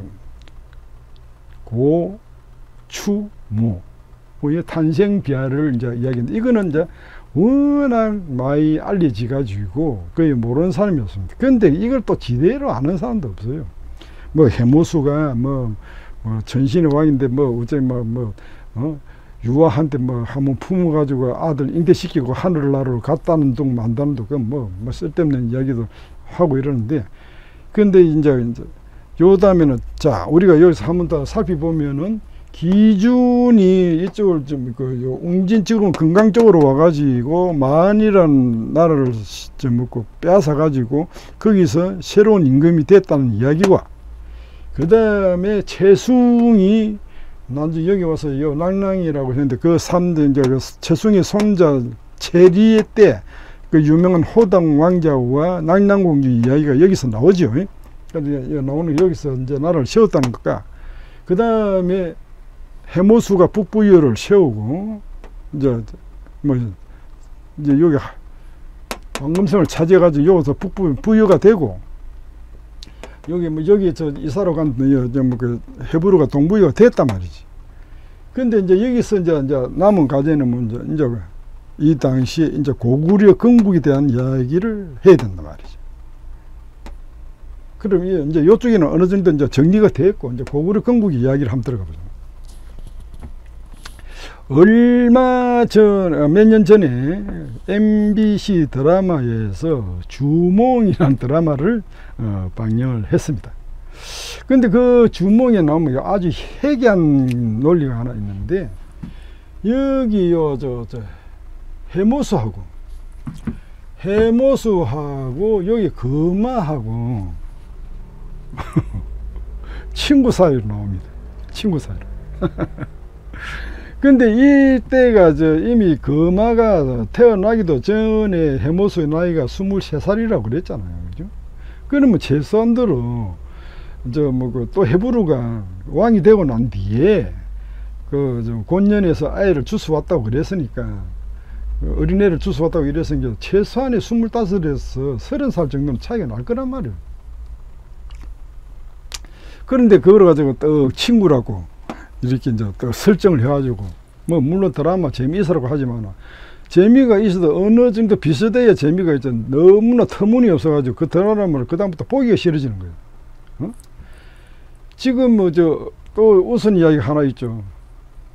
침대는 뭐저뭐 가구가 아니고 과학이다 이렇게 해가지고 아이 애들이 그 뭐죠 국어 시간에 시험을 치는데 침대는 저 뭐고 저, 저 과학이죠 저 가구가 아니라고 적었다는 우스기 소리도 들리잖아요. 근데 이 애들이 드라마를 보면은 뭐 어, 역사에 대해서 잘 모르는 사람이나 또 자각이 없는 사람들은 어? 해무수와 해부 저저 해무수하고 그 저 해금아가 친구가네. 성만 같은 성이 같은 종씨일 뿐이지. 그럼 집안으로 따지면은 뭐 아저씨 뻘이 되든지 뭐 할아버지 뻘이 되든지 아버지 뻘이 뭐 이런 정도 사이지 친구가 될 수 없는 사이입니다. 같은 해신데. 예? 그래서 그저 뭐 그- 그런 엉터리 이제 드라마를 이리 이제 본 적이 있고 근데 이게 드라마를 만드는 사람들은 그런 거 좀 생각을 좀 해야 됩니다. 아무 생각 없이 무엇을 뭐 해금호하고 했죠 뭐그 어? 해모수가 친구라니 그 말도 되지도 이야기예요. 근데 그뭐그 해무수한테 저거 저 뭐고 해금호 저거 아버지가 쫓겨 나가지고 저 동쪽으로 지금 훈준 쪽으로 이리 쫓기간 사이인데 무슨 친구는 친구예요 친구. 그 친구 그래서 해모수가 이제 어느 정도 나이가 좀 들었죠. 들어가지고 이제 이제 중년쯤 됐는데 한날 어, 또 옛날 해부르처럼 또 이제 나들이로 나갑니다. 근데 이제 하들을 이제, 이제 나갔는데 어디로 갔느냐? 해무수가 어 나들이 간 쪽에 이제 이제 어느 저뭐뭐 호숫가로 갔는데 그 유명한 뭐 그가 뭐 이제 뭐 유 우발순지 뭐 저 어디 뭐 하여튼 뭐 저 저저 강가로 이리 놀러 갔어. 갔는데 거기서 누구를 봤냐면은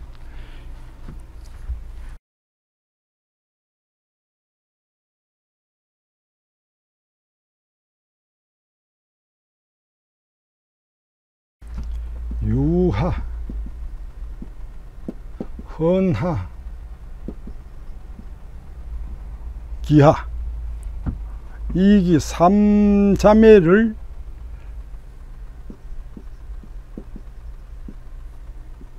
만나게 됩니다.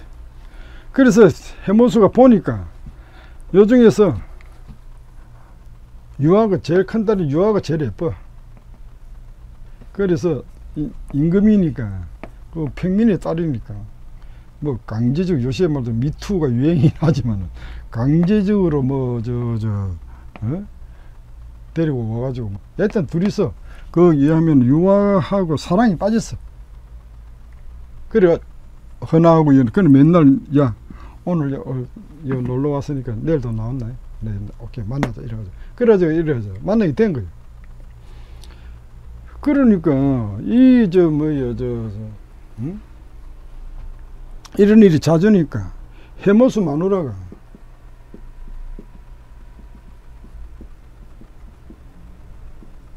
해무수 해무수 마누라가 보니까 어 이놈의 저뭐 그저저저뭐그 서방이 맨날 나들이 나가지고 낮에 놀러 가다가 밤에는 기 들어오고 이러니까 얼굴을 한번 제대로 못 보는 거예요. 그래가지고 뭐 밤에 옆에 좀 갈락하면 귀찮다고 저리 가락하고 이러니까 그래 아무리 수상하다 이래가지고 밑에 사람을 시켜가지고 저뭐그 밤에 저 해모수가 뭐 하는지 가서 한번 지켜봐라 이러니까 그래가지고 그 밑에 와서 부하가 또저뭐그 밑에 사람이 보고를 하기를 해모수가 만나고 어떤 예쁜 처녀를 하나 만나던데요 이렇게 하는 거예요. 그러니까요 마누라가 이제 저뭐그 이제 왕비죠 왕비가 이 그냥 그대로 놔뒀다 큰일 나겠거든. 그래 이거를 어쩌면 좋나 하고 이제 저 아버지한테 이야기를 하니까 그러니까 저 아버지 누구냐 그러면 해모수의 장인이잖아요. 그 장인이 이제 어느 날 해모수한테 가서 그런 거예요. 그래 지금 이래 저 지금 저뭐 이미 어? 정처 전처에서 애도 나오고 이랬는데 또 처한테 애가 나오고 이러면은 이러면 이제 골치 아프지 않겠냐. 그는 서로 일하니까 그만 이쯤에서 재미 다 봤으니까 그만 하시지요. 이런 게. 그러니까 해모수가 가만히 생각해 보니까 그 말도 맞거든. 지금 이제 이래가지고 뭐, 뭐, 저, 지금 와서 뭐, 어? 마누라 뭐또 데리고 오기도 그렇고, 나이도 그 이제 뭐 중년의 나이인데, 이제 젊은 처자를 데리고 와서 한다는 것도 좀 그렇고 이래서, 그러면 해모수가 알았다. 이래가지고 그 약속을 하고는 어, 다음날 약속을 어겨버리고 그 만난 장소에 안, 안 나갑니다.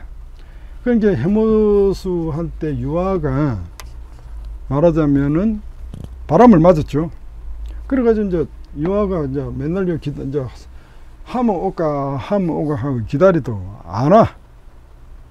그래서 근데 어느 날 딱 보니까 배가 불러오는 거예요. 그 이제 해모수의 아이를 가졌어. 그러니까 그 아버지 그 이제 이 세 딸의 세 딸의 아버지가 하백 이그 말하자면은 문을 다스리는 신이라고도 하기도 하지만은 이 송화강 옆에서 일단 하백이라는 사람이 가만히 생각 이야기를 들어보니까 저거 저 뭐그 임금인 해모수가 저 딸을 건드린 거예요. 그래가지고 덜크 애까지 빼버렸어. 애까지 빼버렸어. 그러니까 합의가 생각할 때 큰일 난 거예요.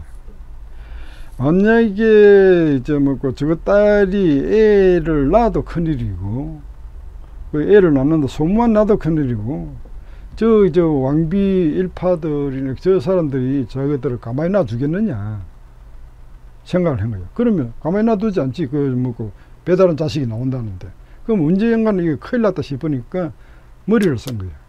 자, 너 와. 그러면 밑에 부하를 시켜가지고 여기서 왕금에서 멀리 떨어진 곳이 요 흑룡강 쪽으로 피신을 해라. 아, 저, 저, 뭐, 그, 이쪽으로 오면은 이 땅이 이제 다르니까 해모수에 말하자면은 북부유군이 영향력을 미치지 못하는 곳에다가 집을 하나 얻어놔 놓고 그 다음에 소문을 퍼뜨린 거예요. 우리 딸년이 어?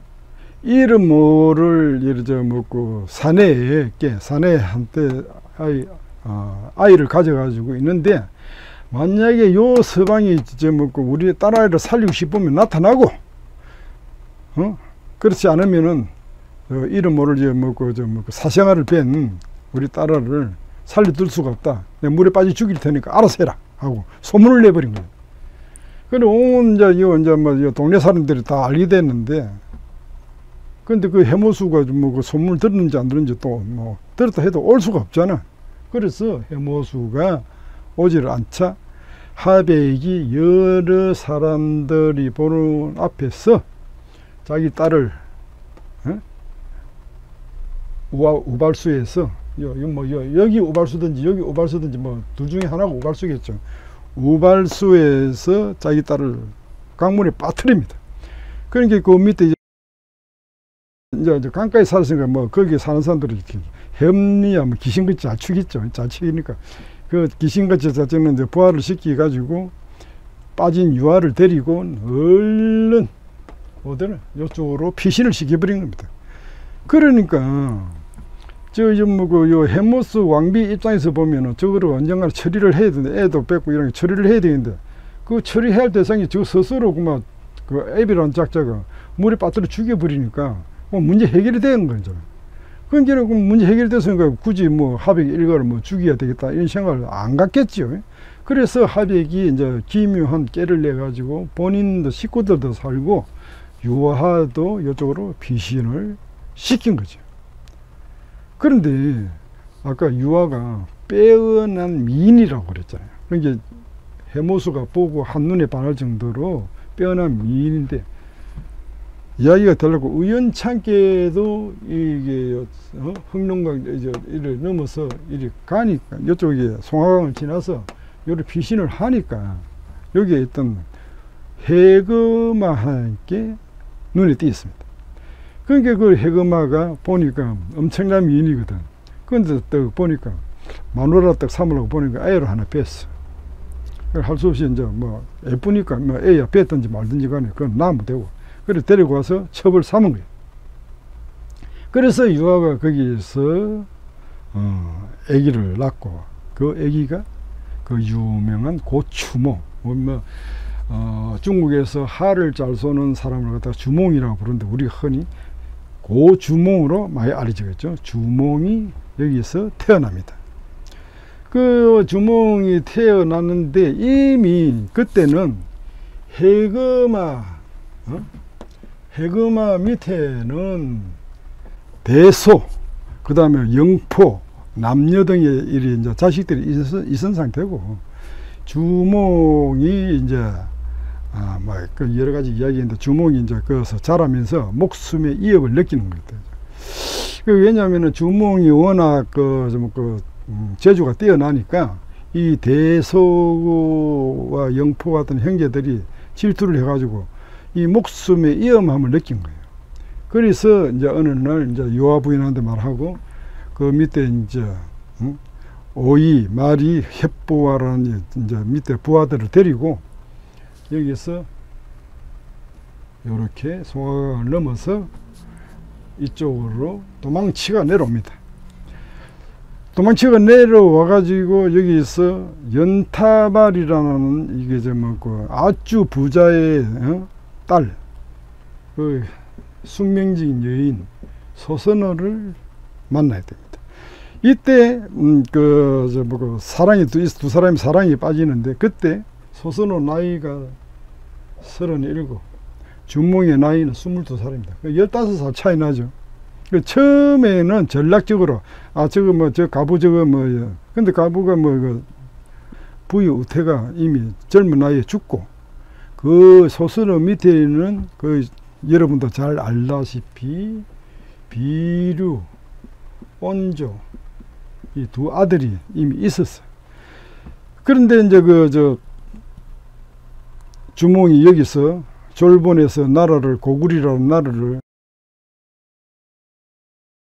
개국하고 있는데 이제 그 뭐 그 비류나 온조는 이제 자기들이 그 이제 주몽이 뒤를 이어가지고 왕이 될 수 있다는 이런 저, 저 생각을 하고 있었는데 어느 날 갑자기 여기서 동부에서 왔다 하면서 아들이 나타납니다. 유리. 예시 부인, 예시 부인과 유리가 나타납니다. 그러니까는, 어? 이건 본체 아들이잖아요. 그러니까 비로, 그러니까 이제 뭐 소선호도 이제 본체가 나타나니까 할수 없이 이제 왕으로 있다가 뒤에 이제 첩으로 이제 깎이 내려간 거지. 그러니까 이제 비루하고 온조가 소선호한테 이야기하기를, 아, 여기 있다가는 우리 목숨이 위험할지도 모르고 저저뭐 그 유리가 우리 살려줄지 안 살려줄지도 모르니까 뭐 아예 아, 이참에 그막 분가를 해가지고 우리는 우리대로 나라를 세우든지 뭐 여기 여기서는 더 이상 못 있으니까 갑시다. 그러니까 어머니 생각은 어떠냐 이제 그러니까 소선호가 자식들을 위해서 헤어지고 싶지 않지만 그래 가자 하고 어. 주몽한테 많은 이제 물건을 챙겨 가지고 여기 여기 국내에서 여기서 이때 평양을 지나서 여, 여기 요 낙랑국이 요 있었죠. 요, 요 저번 시간에 요 낙랑국을 비껴 가지고 한강에 끄지 와서 자리를 잡게 됩니다. 그런데 이때에 어, 비루는 이쪽 인천 쪽에서 자리 잡고 온전은 한강에서 자리 잡고 있었는데 비료 쪽에서는 바닷물이 있잖아요. 짜서 농사 잘 안 돼 가지고 결국은 비료가 낭망을 하고 어, 자살을 하고 그 다음에 이 여기 백성들이 다시 온전 밑으로 다 들어오면서 이 백제라는 나라가 형성이 됩니다. 그런데 주몽은 소선하고 떠난 지 그 사랑이 뭐 깊어서 그런지 무슨 병이 있었는지 모르지만 여하튼 그 소선호가 떠날 때 엄청나게 슬퍼했다는데 뭐 사랑이 뭐 정이 돼가지고 주몽이 소선호가 떠난 지 1년 만에 죽습니다. 그때 나이가 41세라네요. 41세 때 주몽이 어, 사망을 하게 됩니다. 자, 그래가지고 여기서 이제 요까지 이야기인데 그래서 여기 여기서 자리를 잡고 이걸 잡고 이제 어느 정도의 이 전국이 말하자면은 어 안정이 됩니다. 그래도 그 얼마 안 가서 안정이 되고 나니까 이제 그 얼마 안 가서 이제 그 한동안은 이 전체에 전쟁이 없는 평화가 조금 지속이 됩니다. 근데 여기서 무슨 일이 벌어냐면은 동명성왕 즉 말하자면 주몽이 죽자 유리가 왕으로 들어섰죠. 왕으로 들었는데 그 이때 요 요 대소 대소 해금마가 죽고 대소가 왕이 오르던 게 굉장히 저뭐 국력이 강성해집니다. 그래서 이 대소가 이 고구려를 갖다가 엄청나게 괴롭힙니다. 괴롭 그래서 이저 뭐야 뭐, 이, 뭐, 그런 이야기는 다 할 거고, 뭐, 이제, 저, 뭐, 유리왕이 뭐, 첫째 아들, 둘째 아들 이야기는 뭐, 할 필요도 없고, 이거는 뭐, 드라마라서 나오는 거고, 뭐, 할, 그때 하면 되고, 여기, 요, 셋째 아들, 무휼, 유, 저, 유리왕의 아들 무휼이 나중에 이게 대무신왕이 되죠. 대무신왕. 나중에 대무신왕 때, 이거, 여기, 여기서 전쟁이 엄청나게 큰 전쟁이 벌어집니다. 그래가지고 요 전쟁에서 대소가 죽음으로 해서 이 동부여가 급격히 무너지기 시작합니다. 왜 무너지느냐 하면은 대소가 죽고 나니까 그 형제간들이 왕이 다툼을 하다 보니까는 뭐 여기 뭐 어떤 놈은 어디로 가서 또 뭐 동동부여를 만들고 어떤 놈은 뭐, 뭐 이런 식으로 해가지고 결국에는 이게 저 누가 그 이제 동부여가 고구려 이제 무열한테 무릎을 꿇고 항복을 합니다. 항복을 하는데 그래서 이 저 대무신 왕이 무열이가 여기 마지막 남은 남녀 그게 아마 볼 때는 뭐 대소의 막내 동생 중 뭐 막내 동생쯤 되는가 봐요. 근데 남녀를 어 여기 대신 왕으로 아, 앉히고 평화가 와요. 그래서 이 남녀의 손녀딸을 무율한테 말하자면 대무신왕한테 처벌을 줍니다. 근데 이를 처벌을 줬는데 거기서 난 애가 누구냐면 그 유명한 호동왕자. 호동왕자가 태어납니다. 그래서 이 호동왕자가 이래 커감에 의해서 뭐그 이제 대무신 왕이 어, 호동에게 이거 이거는 따져 보면 그 이제 뭐 첩의 아들이니까 이제 뭐 아들이니까 그렇게 귀한 아들은 아니죠. 그러니까 이게 사명을 하나 줍니다. 저 뭐고 요 밑에 요저뭐 땅을 좀 넓혀야 되고 그 여기에 요, 요 평양 이거 낭낭을 낭낭고 이거를 이제 우리가 잡아 먹어야 되는데 뭐 좋은 방법이 없냐? 네가 한번 알아서 한번 해봐라 이러고 그 사명을 준 거야. 그러니까 그러니까 이제 그 대무신 왕의 특명을 받고 호동 왕자가 요 평양으로 옵니다. 와가지고는 그저 뭐그 체리가 사냥 사냥 간 사냥터에 가가지고 나타납니다. 그러니까 체리가 딱 보니까 어떤 뭐 아주 잘생긴 놈 하나가 딱 오거든. 그래 네가 누구냐 이러니까는 그러니까 이제 체리가 보니까는 얼씨구나 됐다. 혼자 왕자도 뭐 인물도 잘생긴 데다가 어? 인물도 잘생긴 데다가 저 뭐고 저거 딸하고 딱 맺어줘가지고 고구려하고 사돈을 맺으면은 고구려가 침범을 하지 않겠지. 이렇게 생각을 한 거예요. 그래서 체리가 호동 왕자를 꼬드겨 가지고 저거 딸하고 결혼을 시켜버렸어. 그 이제 장가를 이제 틈 이제 가다. 그 이제 호동 왕자는 이제 이제 잘 됐다 생각했겠죠. 그래가지고 호동 왕자가 첫날 밤을 치르고 며칠 있다가 낭낭 공자한테 이야기를 한 거야. 야, 낭낭아. 우리 두 나라가 어르렁대고 싸울 게 아니고 한 나라가 되면은 싸움도 안 하고 니하고 내하고. 뭐, 어? 아니냐.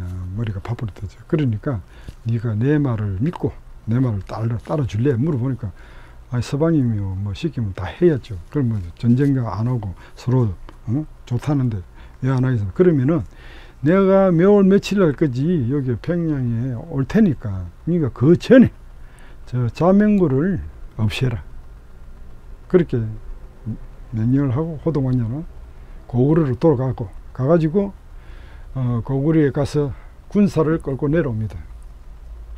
군사를 끌고 내려오니까 그러자 이제 어느 정도 이제 약속대로 낙랑공주가 자명고를 칼로 찢어버립니다. 그래가지고 이제 이제 고구려 막 고구려군이 막 쳐들어오니까 체리가 놀래가지고 이제 어? 자명고를 치려고 와 보니까 자명고는 찢어지가 있고 그 옆에서 뭐 딸이 울고 앉아 있거든. 그래가지고 이제 체리가 눈치를 채고 아, 네가 아무리 내 딸이지만은 나라를 배신했으니까 살려두었다 하고 어, 그 자리에서 낭랑공주를 베고 어, 고구려에게 항복을 합니다. 그래서 그래 하여 이기 어, 낭랑이 그때 에, 문을 닫게 되죠. 그런데 그래가지고 이제 얼마 안 있어서 이제 호동 왕자는 어? 설마 싶었는데 낭랑공주가 이미 죽고 없고 슬픔에 빠지가 있는데 또 고구려에서는 정비가 가마번기는 이게 첩의 아들이 저뭐 그뭐 전쟁에서 큰 승리를 거뒀단 말이야. 그러니까 그 공이 한 나라를 멸망을 시켰으니까 작은 말하자면은 공이 아니잖아요. 그래가지고 뭐라고 이야기하면 정실 부인이 호동 왕자를 모함에 빠뜨립니다. 뭐 모함을 어떻게 빠뜨리냐? 저 호동이 나를 강간하려 했다. 그러니까 대무신 왕이 어? 펄쩍 뛰거든요. 아니 저 그런데 에미를 갖다 그 아들이 강간을 해. 그러니까 이제 터무니없는 죄를 뒤집어 쓰니까 안 그래도 호동이는 낭랑공주가 죽어서 슬픈데 그러다가 또 뭐뭐 뭐 강간을 해서 이제 아유 뭐 이러면서 귀찮다 이래가지고 그만 호동 왕자가 자기를 해버립니다. 그게 이제 문제는 해결되는데 그런데 문제는 이 동부에 남녀가 보니까 아니 자기 저 뭐그 음, 손녀 자식 저 뭐그 그러니까 손 저 저 저 외손 자잖아 외손자 복수를 해야 돼. 성이 나니까 여기에 이제 요 낭낭 그 이제 망연 저 유민들하고 남녀하고 합동을 해가지고 그다가 남녀가 저저 한나라에다가 도움을 요청을 합니다. 이 도움을 요청을 하는데 여기에서 요거를 여기 육로로 해가지고 한나라로 이래 들어가려고 하면은 요 여기 이만 조선을 지나야 한나라로 들어갈 수가 있어요. 그래서 요 막혀가지 않는 게 그냥 할 수 없이 요 배를 타고 요 가서 이제 요 아래인 거야. 이거 좀, 좀 도와달라. 어? 내 고구려를 쳐야 되는데 우리 희망과 장기는 한나라. 그러니까 이제 한무제 유철이 어, 그거 좋은 생각이다 하고 군사를 빌려줍니다. 이제 보냅니다. 그래가지고 요, 이제 여기는, 요 길은 못 지나가고 배를 타고 요 평양으로 들어와서 요 유민들하고 합세를 해가지고 여기서 고구려하고 붙습니다. 근데 그 짓을 무려 9년간을 계속 하다가 또 유철이 도저히 안 되겠다. 이거는 해봐야 성산도 없고 재미도 못 본다. 이래가지고 어, 후퇴를 시킵니다. 후퇴를 시키다 보니까 이제 1차 이제 이게 저뭐그 전쟁은 이제 끝이 난 거예요. 그런데 또 이제 이제 남녀가 이제 어? 동부의 남녀가 이것으로 이제 끝나는 게 아니고 이제 분하잖아요. 그래서 다시 이제 한에다가 또 이제 한번더 전쟁 하자고 요청을 합니다. 그러니까 이제 요 이제 이제 저, 저한 무제가 요 어? 이만희 우거 우거 왕한테 자 길을 빌려달라. 그러니까 우거 왕이 가만히 보니까 고구려가 한에다가 보다 망하면은 어떻게 됩니까? 요저 뭐고 위만 조선이 한나라에 둘러싸이는 행국이 되죠. 그러면은 여기다 양 사방에다가 적을 두는 게 우구왕이 그 길을 비켜줄 리가 없는 거예요. 어? 그러니까 안 그래도 막으라 소리 안 했는데 그게 고구려를 위해서가 아니라 자기 자신들을 위해서 이 고구려가 망하면 안 되는 거야. 근데 고구려하고 이만하고는 별로 뭐 싸우지도 안 하고 전쟁할 필요도 없고 전쟁 해본 적도 없어 뭐. 그러니까 길을 빌려줄 이유가 없는 거예요 빌려줬다 하면 이거 털음식이 잠이 길지고 그러니까 우거 왕이 못 빌려주겠다 이러니까 그래 이래가지고 한무제가 그러면 뭔 생각이냐면 아 여기 고구려하고 전쟁을 하려고 하면은 2만 조선 인원부터 없애야 되겠구나 생각을 하고 여기다 건설해 가지고 결국에는 2만 조선을 멸망을 시킵니다. 그러니까 우구가 그 밑에 자기 부하들한테 암살을 당하고 이제 이게 2만이 멸망을 하죠. 그게 우구 왕이 어, 한 7, 80년 만에 망하죠. 그러니까 우구 왕이 이제 막 그때 망한 지가 어, 이만 조선이 194년, BC 194년에 나라를 세워가지고 단기 저뭐또 그 BC 108년에 망하니까 그러니까 뭐한 80년 음, 정도 80몇 년을 갔는데 그러니까 2139년에 나라를 저 이만 조선을 세워가지고 2225년에 망하니까 한 80, 한 7년 정도 되나요? 이만 조선을 점령하고 여기다가 드디어 BC 108년에 한사군을 설치를 하게 됩니다. 그럼 이 한사군을 왜 설치를 하냐? 순전히 고구려와의 전쟁을 위해서 설치를 한 거예요. 그런데 여기다가 한사군을 설치를 하게 되는데 식민사관들이나 얼마 전에 저뭐그 역대 수도 이동 변장사 항인별 선생께서 평양에 여기다가 한사군을 설치한 것처럼 말씀을 하기 때문에 이치에도 맞지도 않고 사례에도 맞지 않고 예? 여기 여기 한사군 설치 저뭐 설치를 하면 고구려가 망해야 그 땅 위에다가 한사군을 설치하는데 여기 고구려가 뻔히 있는데 여기다가 어떻게 한사군을 설치를 합니까? 한사군을 설치를 하면 고구려와 이 국경이 맞대가 있는 요 부분이 맞지요 여기 여기 그래서 여기에서는 한사군에 아, 하려면은 전진기지 즉 말하자면 전투를 벌려야 되는 부대가 있고 그것이 여기서 진분 임둔 여기에 낭낭 여기 낭낭이라 써있죠. 이 낭낭은 요 쉽게 말해서 후방 촌봉구입니다. 후방 부대라. 근데 여기 또 이제 그 현도가 남아있는데 현도는 어디에 있냐면은 여기 북경 밑에 여기 여기가 현도입니다 현도 여기서는 뭐 하냐 군사도 보내주고 식량도 군수품을 대주는 거죠. 그래서 여기에다가 현도 낭낭 진번 임둔을 갖다가 여기에다가 시옵니다 요, 요 위치에다가 요 이제 고구려하고 요 요하를 사이에 두고 대치가 된 거죠. 그래가지고 이때 전쟁을 갖다가 말하자면 동부여 낭 여기 있는 낭랑거 유민 그리고 여기 저 한사군이 상군이다 양사방에서 전쟁을 벌이는 거죠. 그러니까 고구려 입장에서 보면 여기서도 전투를 벌여야 되고 어? 전부 그저 저 이쪽에서도 전투를 벌여야 되고 이쪽에서도 전투를 벌여야 되는 이런 이제 어? 이쪽에서도 뭐 전투를 벌여야 되는 걸 이제 세 군데의 적을 이제 맞이하게 되죠. 그런데 그 전쟁에서 28년간이나 진행이 됩니다. 그래가지고 BC 82년, 그러니까 당기 2241년에 어, 한 무제가 전쟁 아무리 해봐도 끝도 없고 뭐, 뭐 결말 날그 걷지도 않고 또 국내 문제도 어지럽고 이런 게는 이거 야 이제 전쟁 그만하자고 한상훈을 철수를 시킵니다. 그러니까 이제 전쟁이 끝나버리니까 진번이나 임두는 필요가 없죠. 요, 요, 요 전방 부대에 있으니까. 이, 이, 이 실질적인 전투 부대는 이 두 군이 했으니까.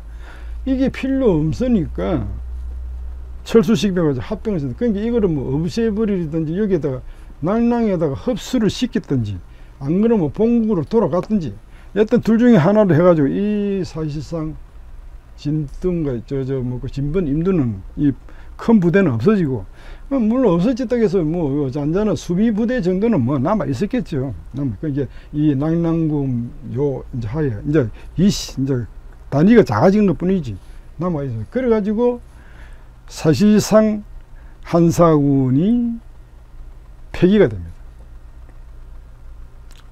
그러면 이제 이야기가 이제 여기서 이제, 이제 끝이 나야 되는데, 근데 여기에도 그 이후에도 이게 이제, 어, 낭낭이 저 뭐야, 어? 계속 이 역사 속에 살아남는 거예요. 그럼 역사 속에 어떻게 살아남느냐?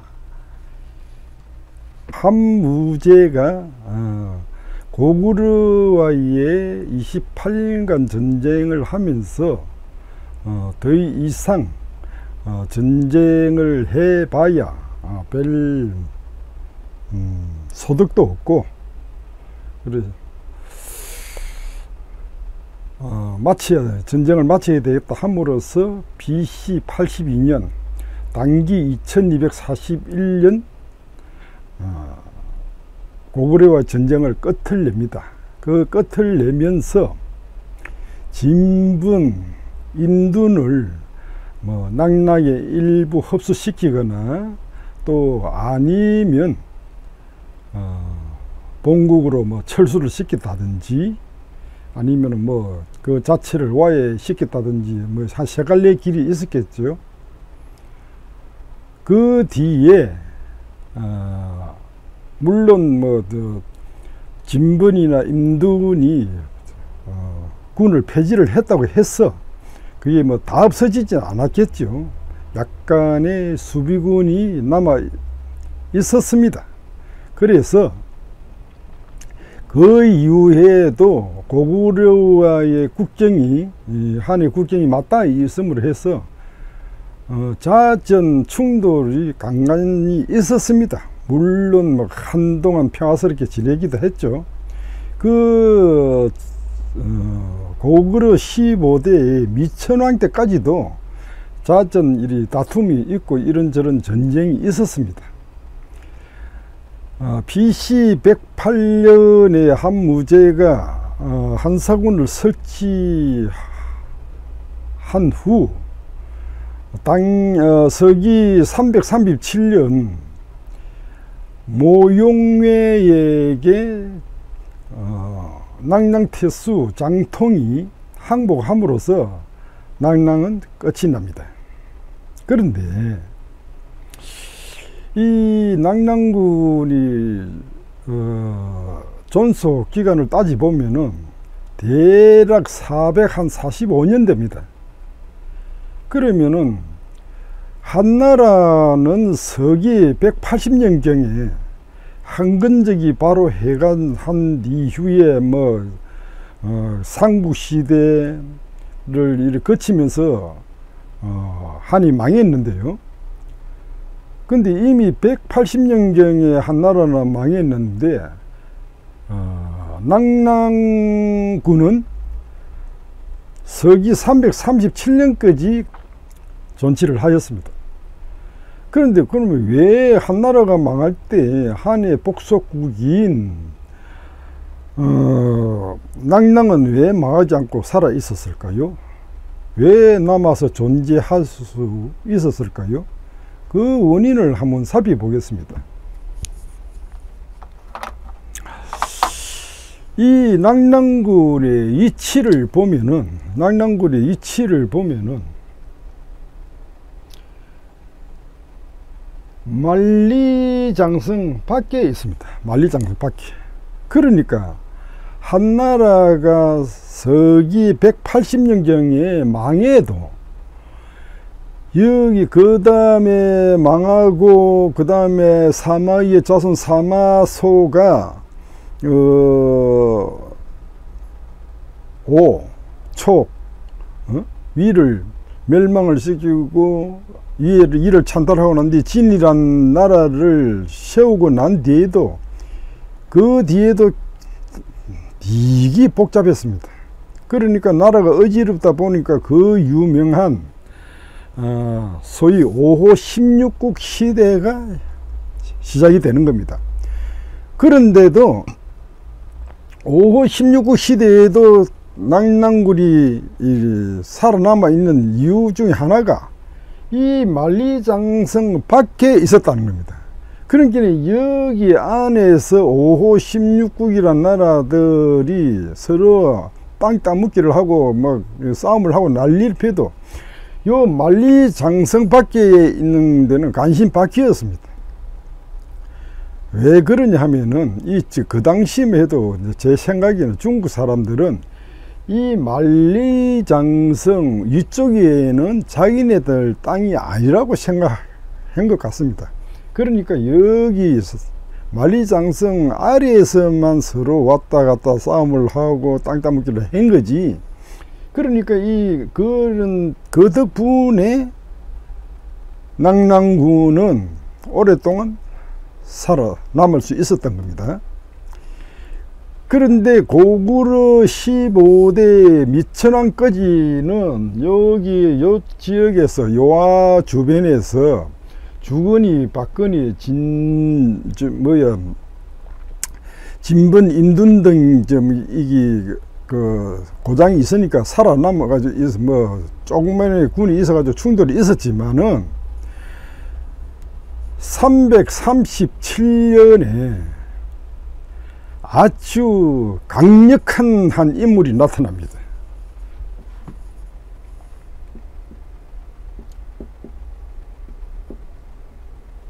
모용애가 여기 이 부분에서 선비족을 선비족 모용애가 크게 강력하게 이게 대두가 됩니다. 그러니까 이 고구려와 낭랑 사이에서 이 강력한 세력이 나타남으로 해서 고구려와 낭랑은 자동으로 전쟁이 어? 끝나고 이 낭랑이 모용이한테 항복을 해버립니다. 장통이라는 태수가 항복을 함으로써 이게 이제 끝나버리죠. 그 이에 모용회의 아들 모용항이 어, 요 고구려 고군 고국 원왕하고 싸움 끝에 여기 요 국내성을 어, 점령하고 뭐 이런 이런 등등의 사건이 이제 생기게 되죠. 근데 그 우리의 에, 말하자 관심사는 여기까지가 아니고 한사군이 어디에 설치돼 가지고 어떻게 끝났느냐. 이게 아주 중요한 대목이기 때문에 여기에 한사군이 여기에 낙랑군이 여기 중심지였던 여기에 있었다는 것을 우리가 일련의 사건으로 인해서 보면은 낙랑군이 어디에 있고 진번이 어디에 있고 임돈이 어디에 있는 걸 확실해지는 겁니다. 그런데 여기 여기는 이미 고구려 요저 최숭의 낙랑이 망하고 이미 고구려 땅인데 여기 있는 낙랑군이 나중에 미천왕 때도 있었고 뭐 고구는 저 뭐야 이 장통이라는 응? 장통이란 태수가 모용이한테 항복을 했는데 어? 여기 있는 낙랑군이 여기 있는 장, 저 모용이한테 어? 항복을 했다. 그게 말이 됩니까? 전혀 말이 안 되잖아요.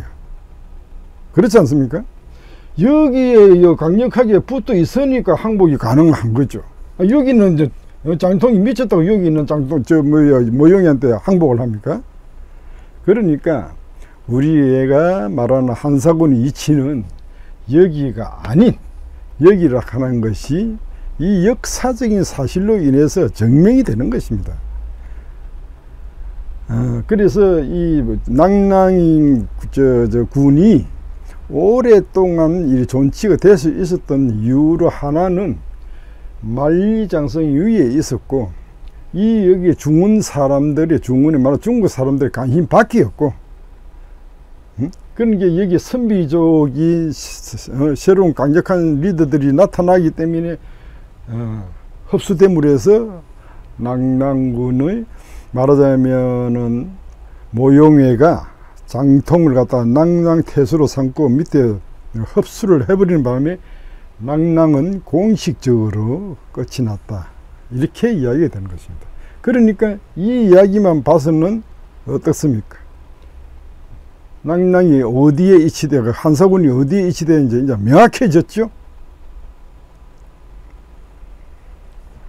그러므로 해서 우리가 식민 사학이냐 뭐 민족 사학이냐의 싸움에서 어?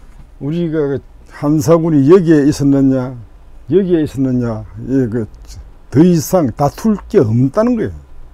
그 여기 명확해진 거예요. 요, 요 설명에 의해서.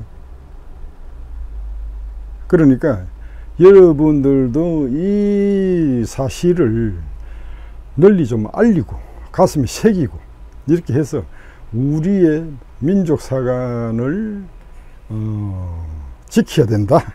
이렇게 말씀을 드리고 어, 오늘 이 강의를 어, 마치도록 하겠습니다. 감사합니다.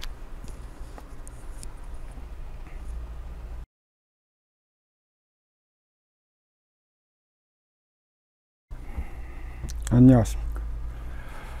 처음부터 소선 상고사의 비밀 저번 시간까지 다섯 편으로 어, 나누어 어, 두 시간 넘게 강의를 했습니다. 저 강의라는 것을 제가 태어나서 처음 해보는 것이 되어서 과연 내가 잘 할 수 있을까 어, 스스로 걱정을 많이 했었습니다. 그러나 다행히도 많이 부족하지만 그만큼이라도 해낸 것에 대해서 제 스스로 대견해 여기며 어, 나름 만족하고 있습니다. 여러분들도 어, 제가 어, 많이 부족하다는 걸 느꼈을 테지만 어, 강의 뭐 하는 솜씨보다도 안에 내용이 중요한 거니까요. 어, 어, 많은 양해를 어, 부탁드립니다. 본론으로 들어가서 우리가 한석울의 이치를 정확히 밝히려는 것은 깊은 이유가 있습니다. 아, 이유는 일본의 식민사관의 흉계를 타파하는 것도 있지만 그보다 더 시급한 것은 중국의 동북공정 때문입니다. 중국이 큰 나라답지 않게 일본의 강교한 주장을 얍삽하게 받아들여 동북공정 논리에 교묘하게 이용하려 하기 때문입니다. 오늘날 중국이 거대한 땅덩어리를 소유하게 된 것이 2차 대전, 즉 일본이 항복하고 물러난 여세를 이용하여 미처 어, 국가로서 정리되지 못한 이후 소수민족 국가를 마구마구 흡수하여 통일을 이룬 까닭입니다. 이때 중국 본토를 차지했던 청나라가 망하면서 본래 청의 땅이었던 요동, 만주 땅까지 중국에 넘어가 버렸습니다. 중국이 경제력이 좋아지고 국방력이 씌어져 지금 이대로 변할 것 같이 보이지 않다 하나 지금은 55개의 나라를 강제로 차지하고 있지만 세상에서 영원한 것은 없는 그 법입니다. 그 국군에 보이는 뚝도 자그마한 틈새 하나가 시작되어 점점 넓어지면서 무너지듯이 56개국 가운데 하나만 독립을 정치하게 되면 그 다음은 걷잡을 수 없이 무너지게 되어 있는 것입니다.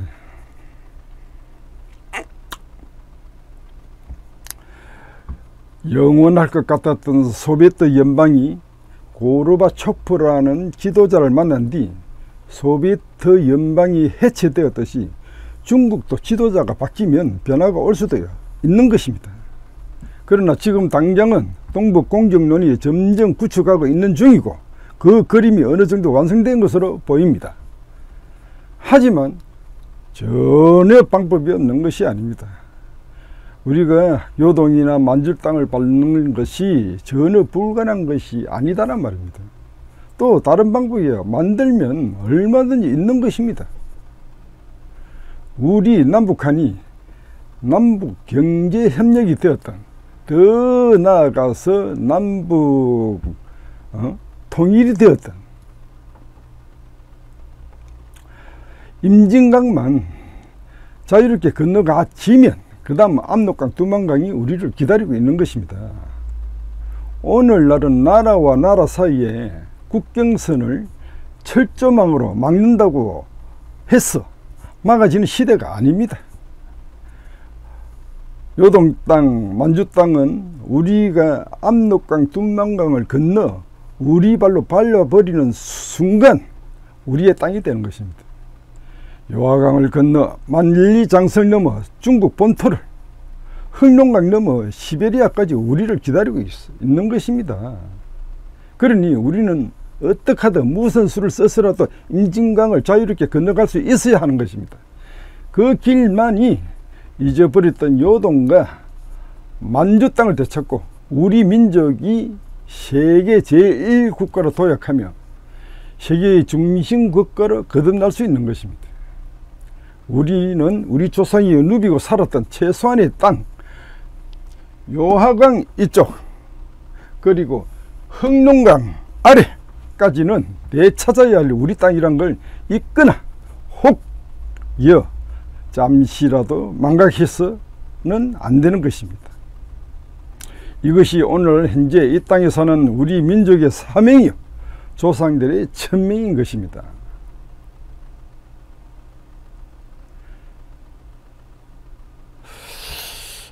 그래서 이와 관련해서 어, 마지막으로 가수 정희가 부른 불타는 대륙 즉 조선 상고사에 관한 노래입니다. 한번 들어보는 걸로 오늘 이 시간을 어, 마치겠습니다. 제 이야기는 여기까지입니다.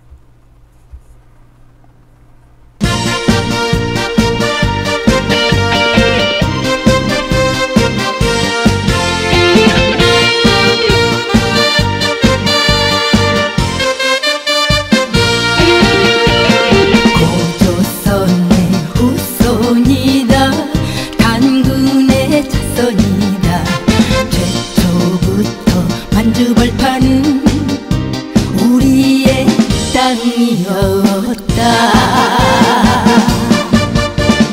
배달 민족의 기소 이어받았어. 민족의 땅만 주벌판 찾아야 한다.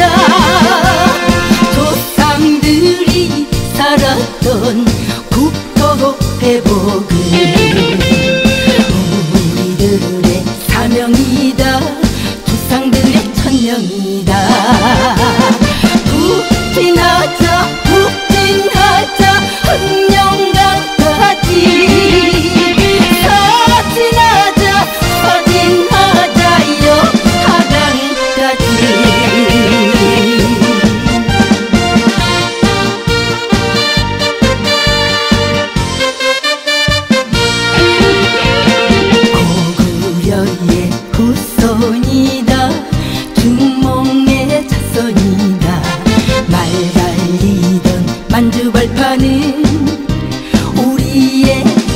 사랑이었다.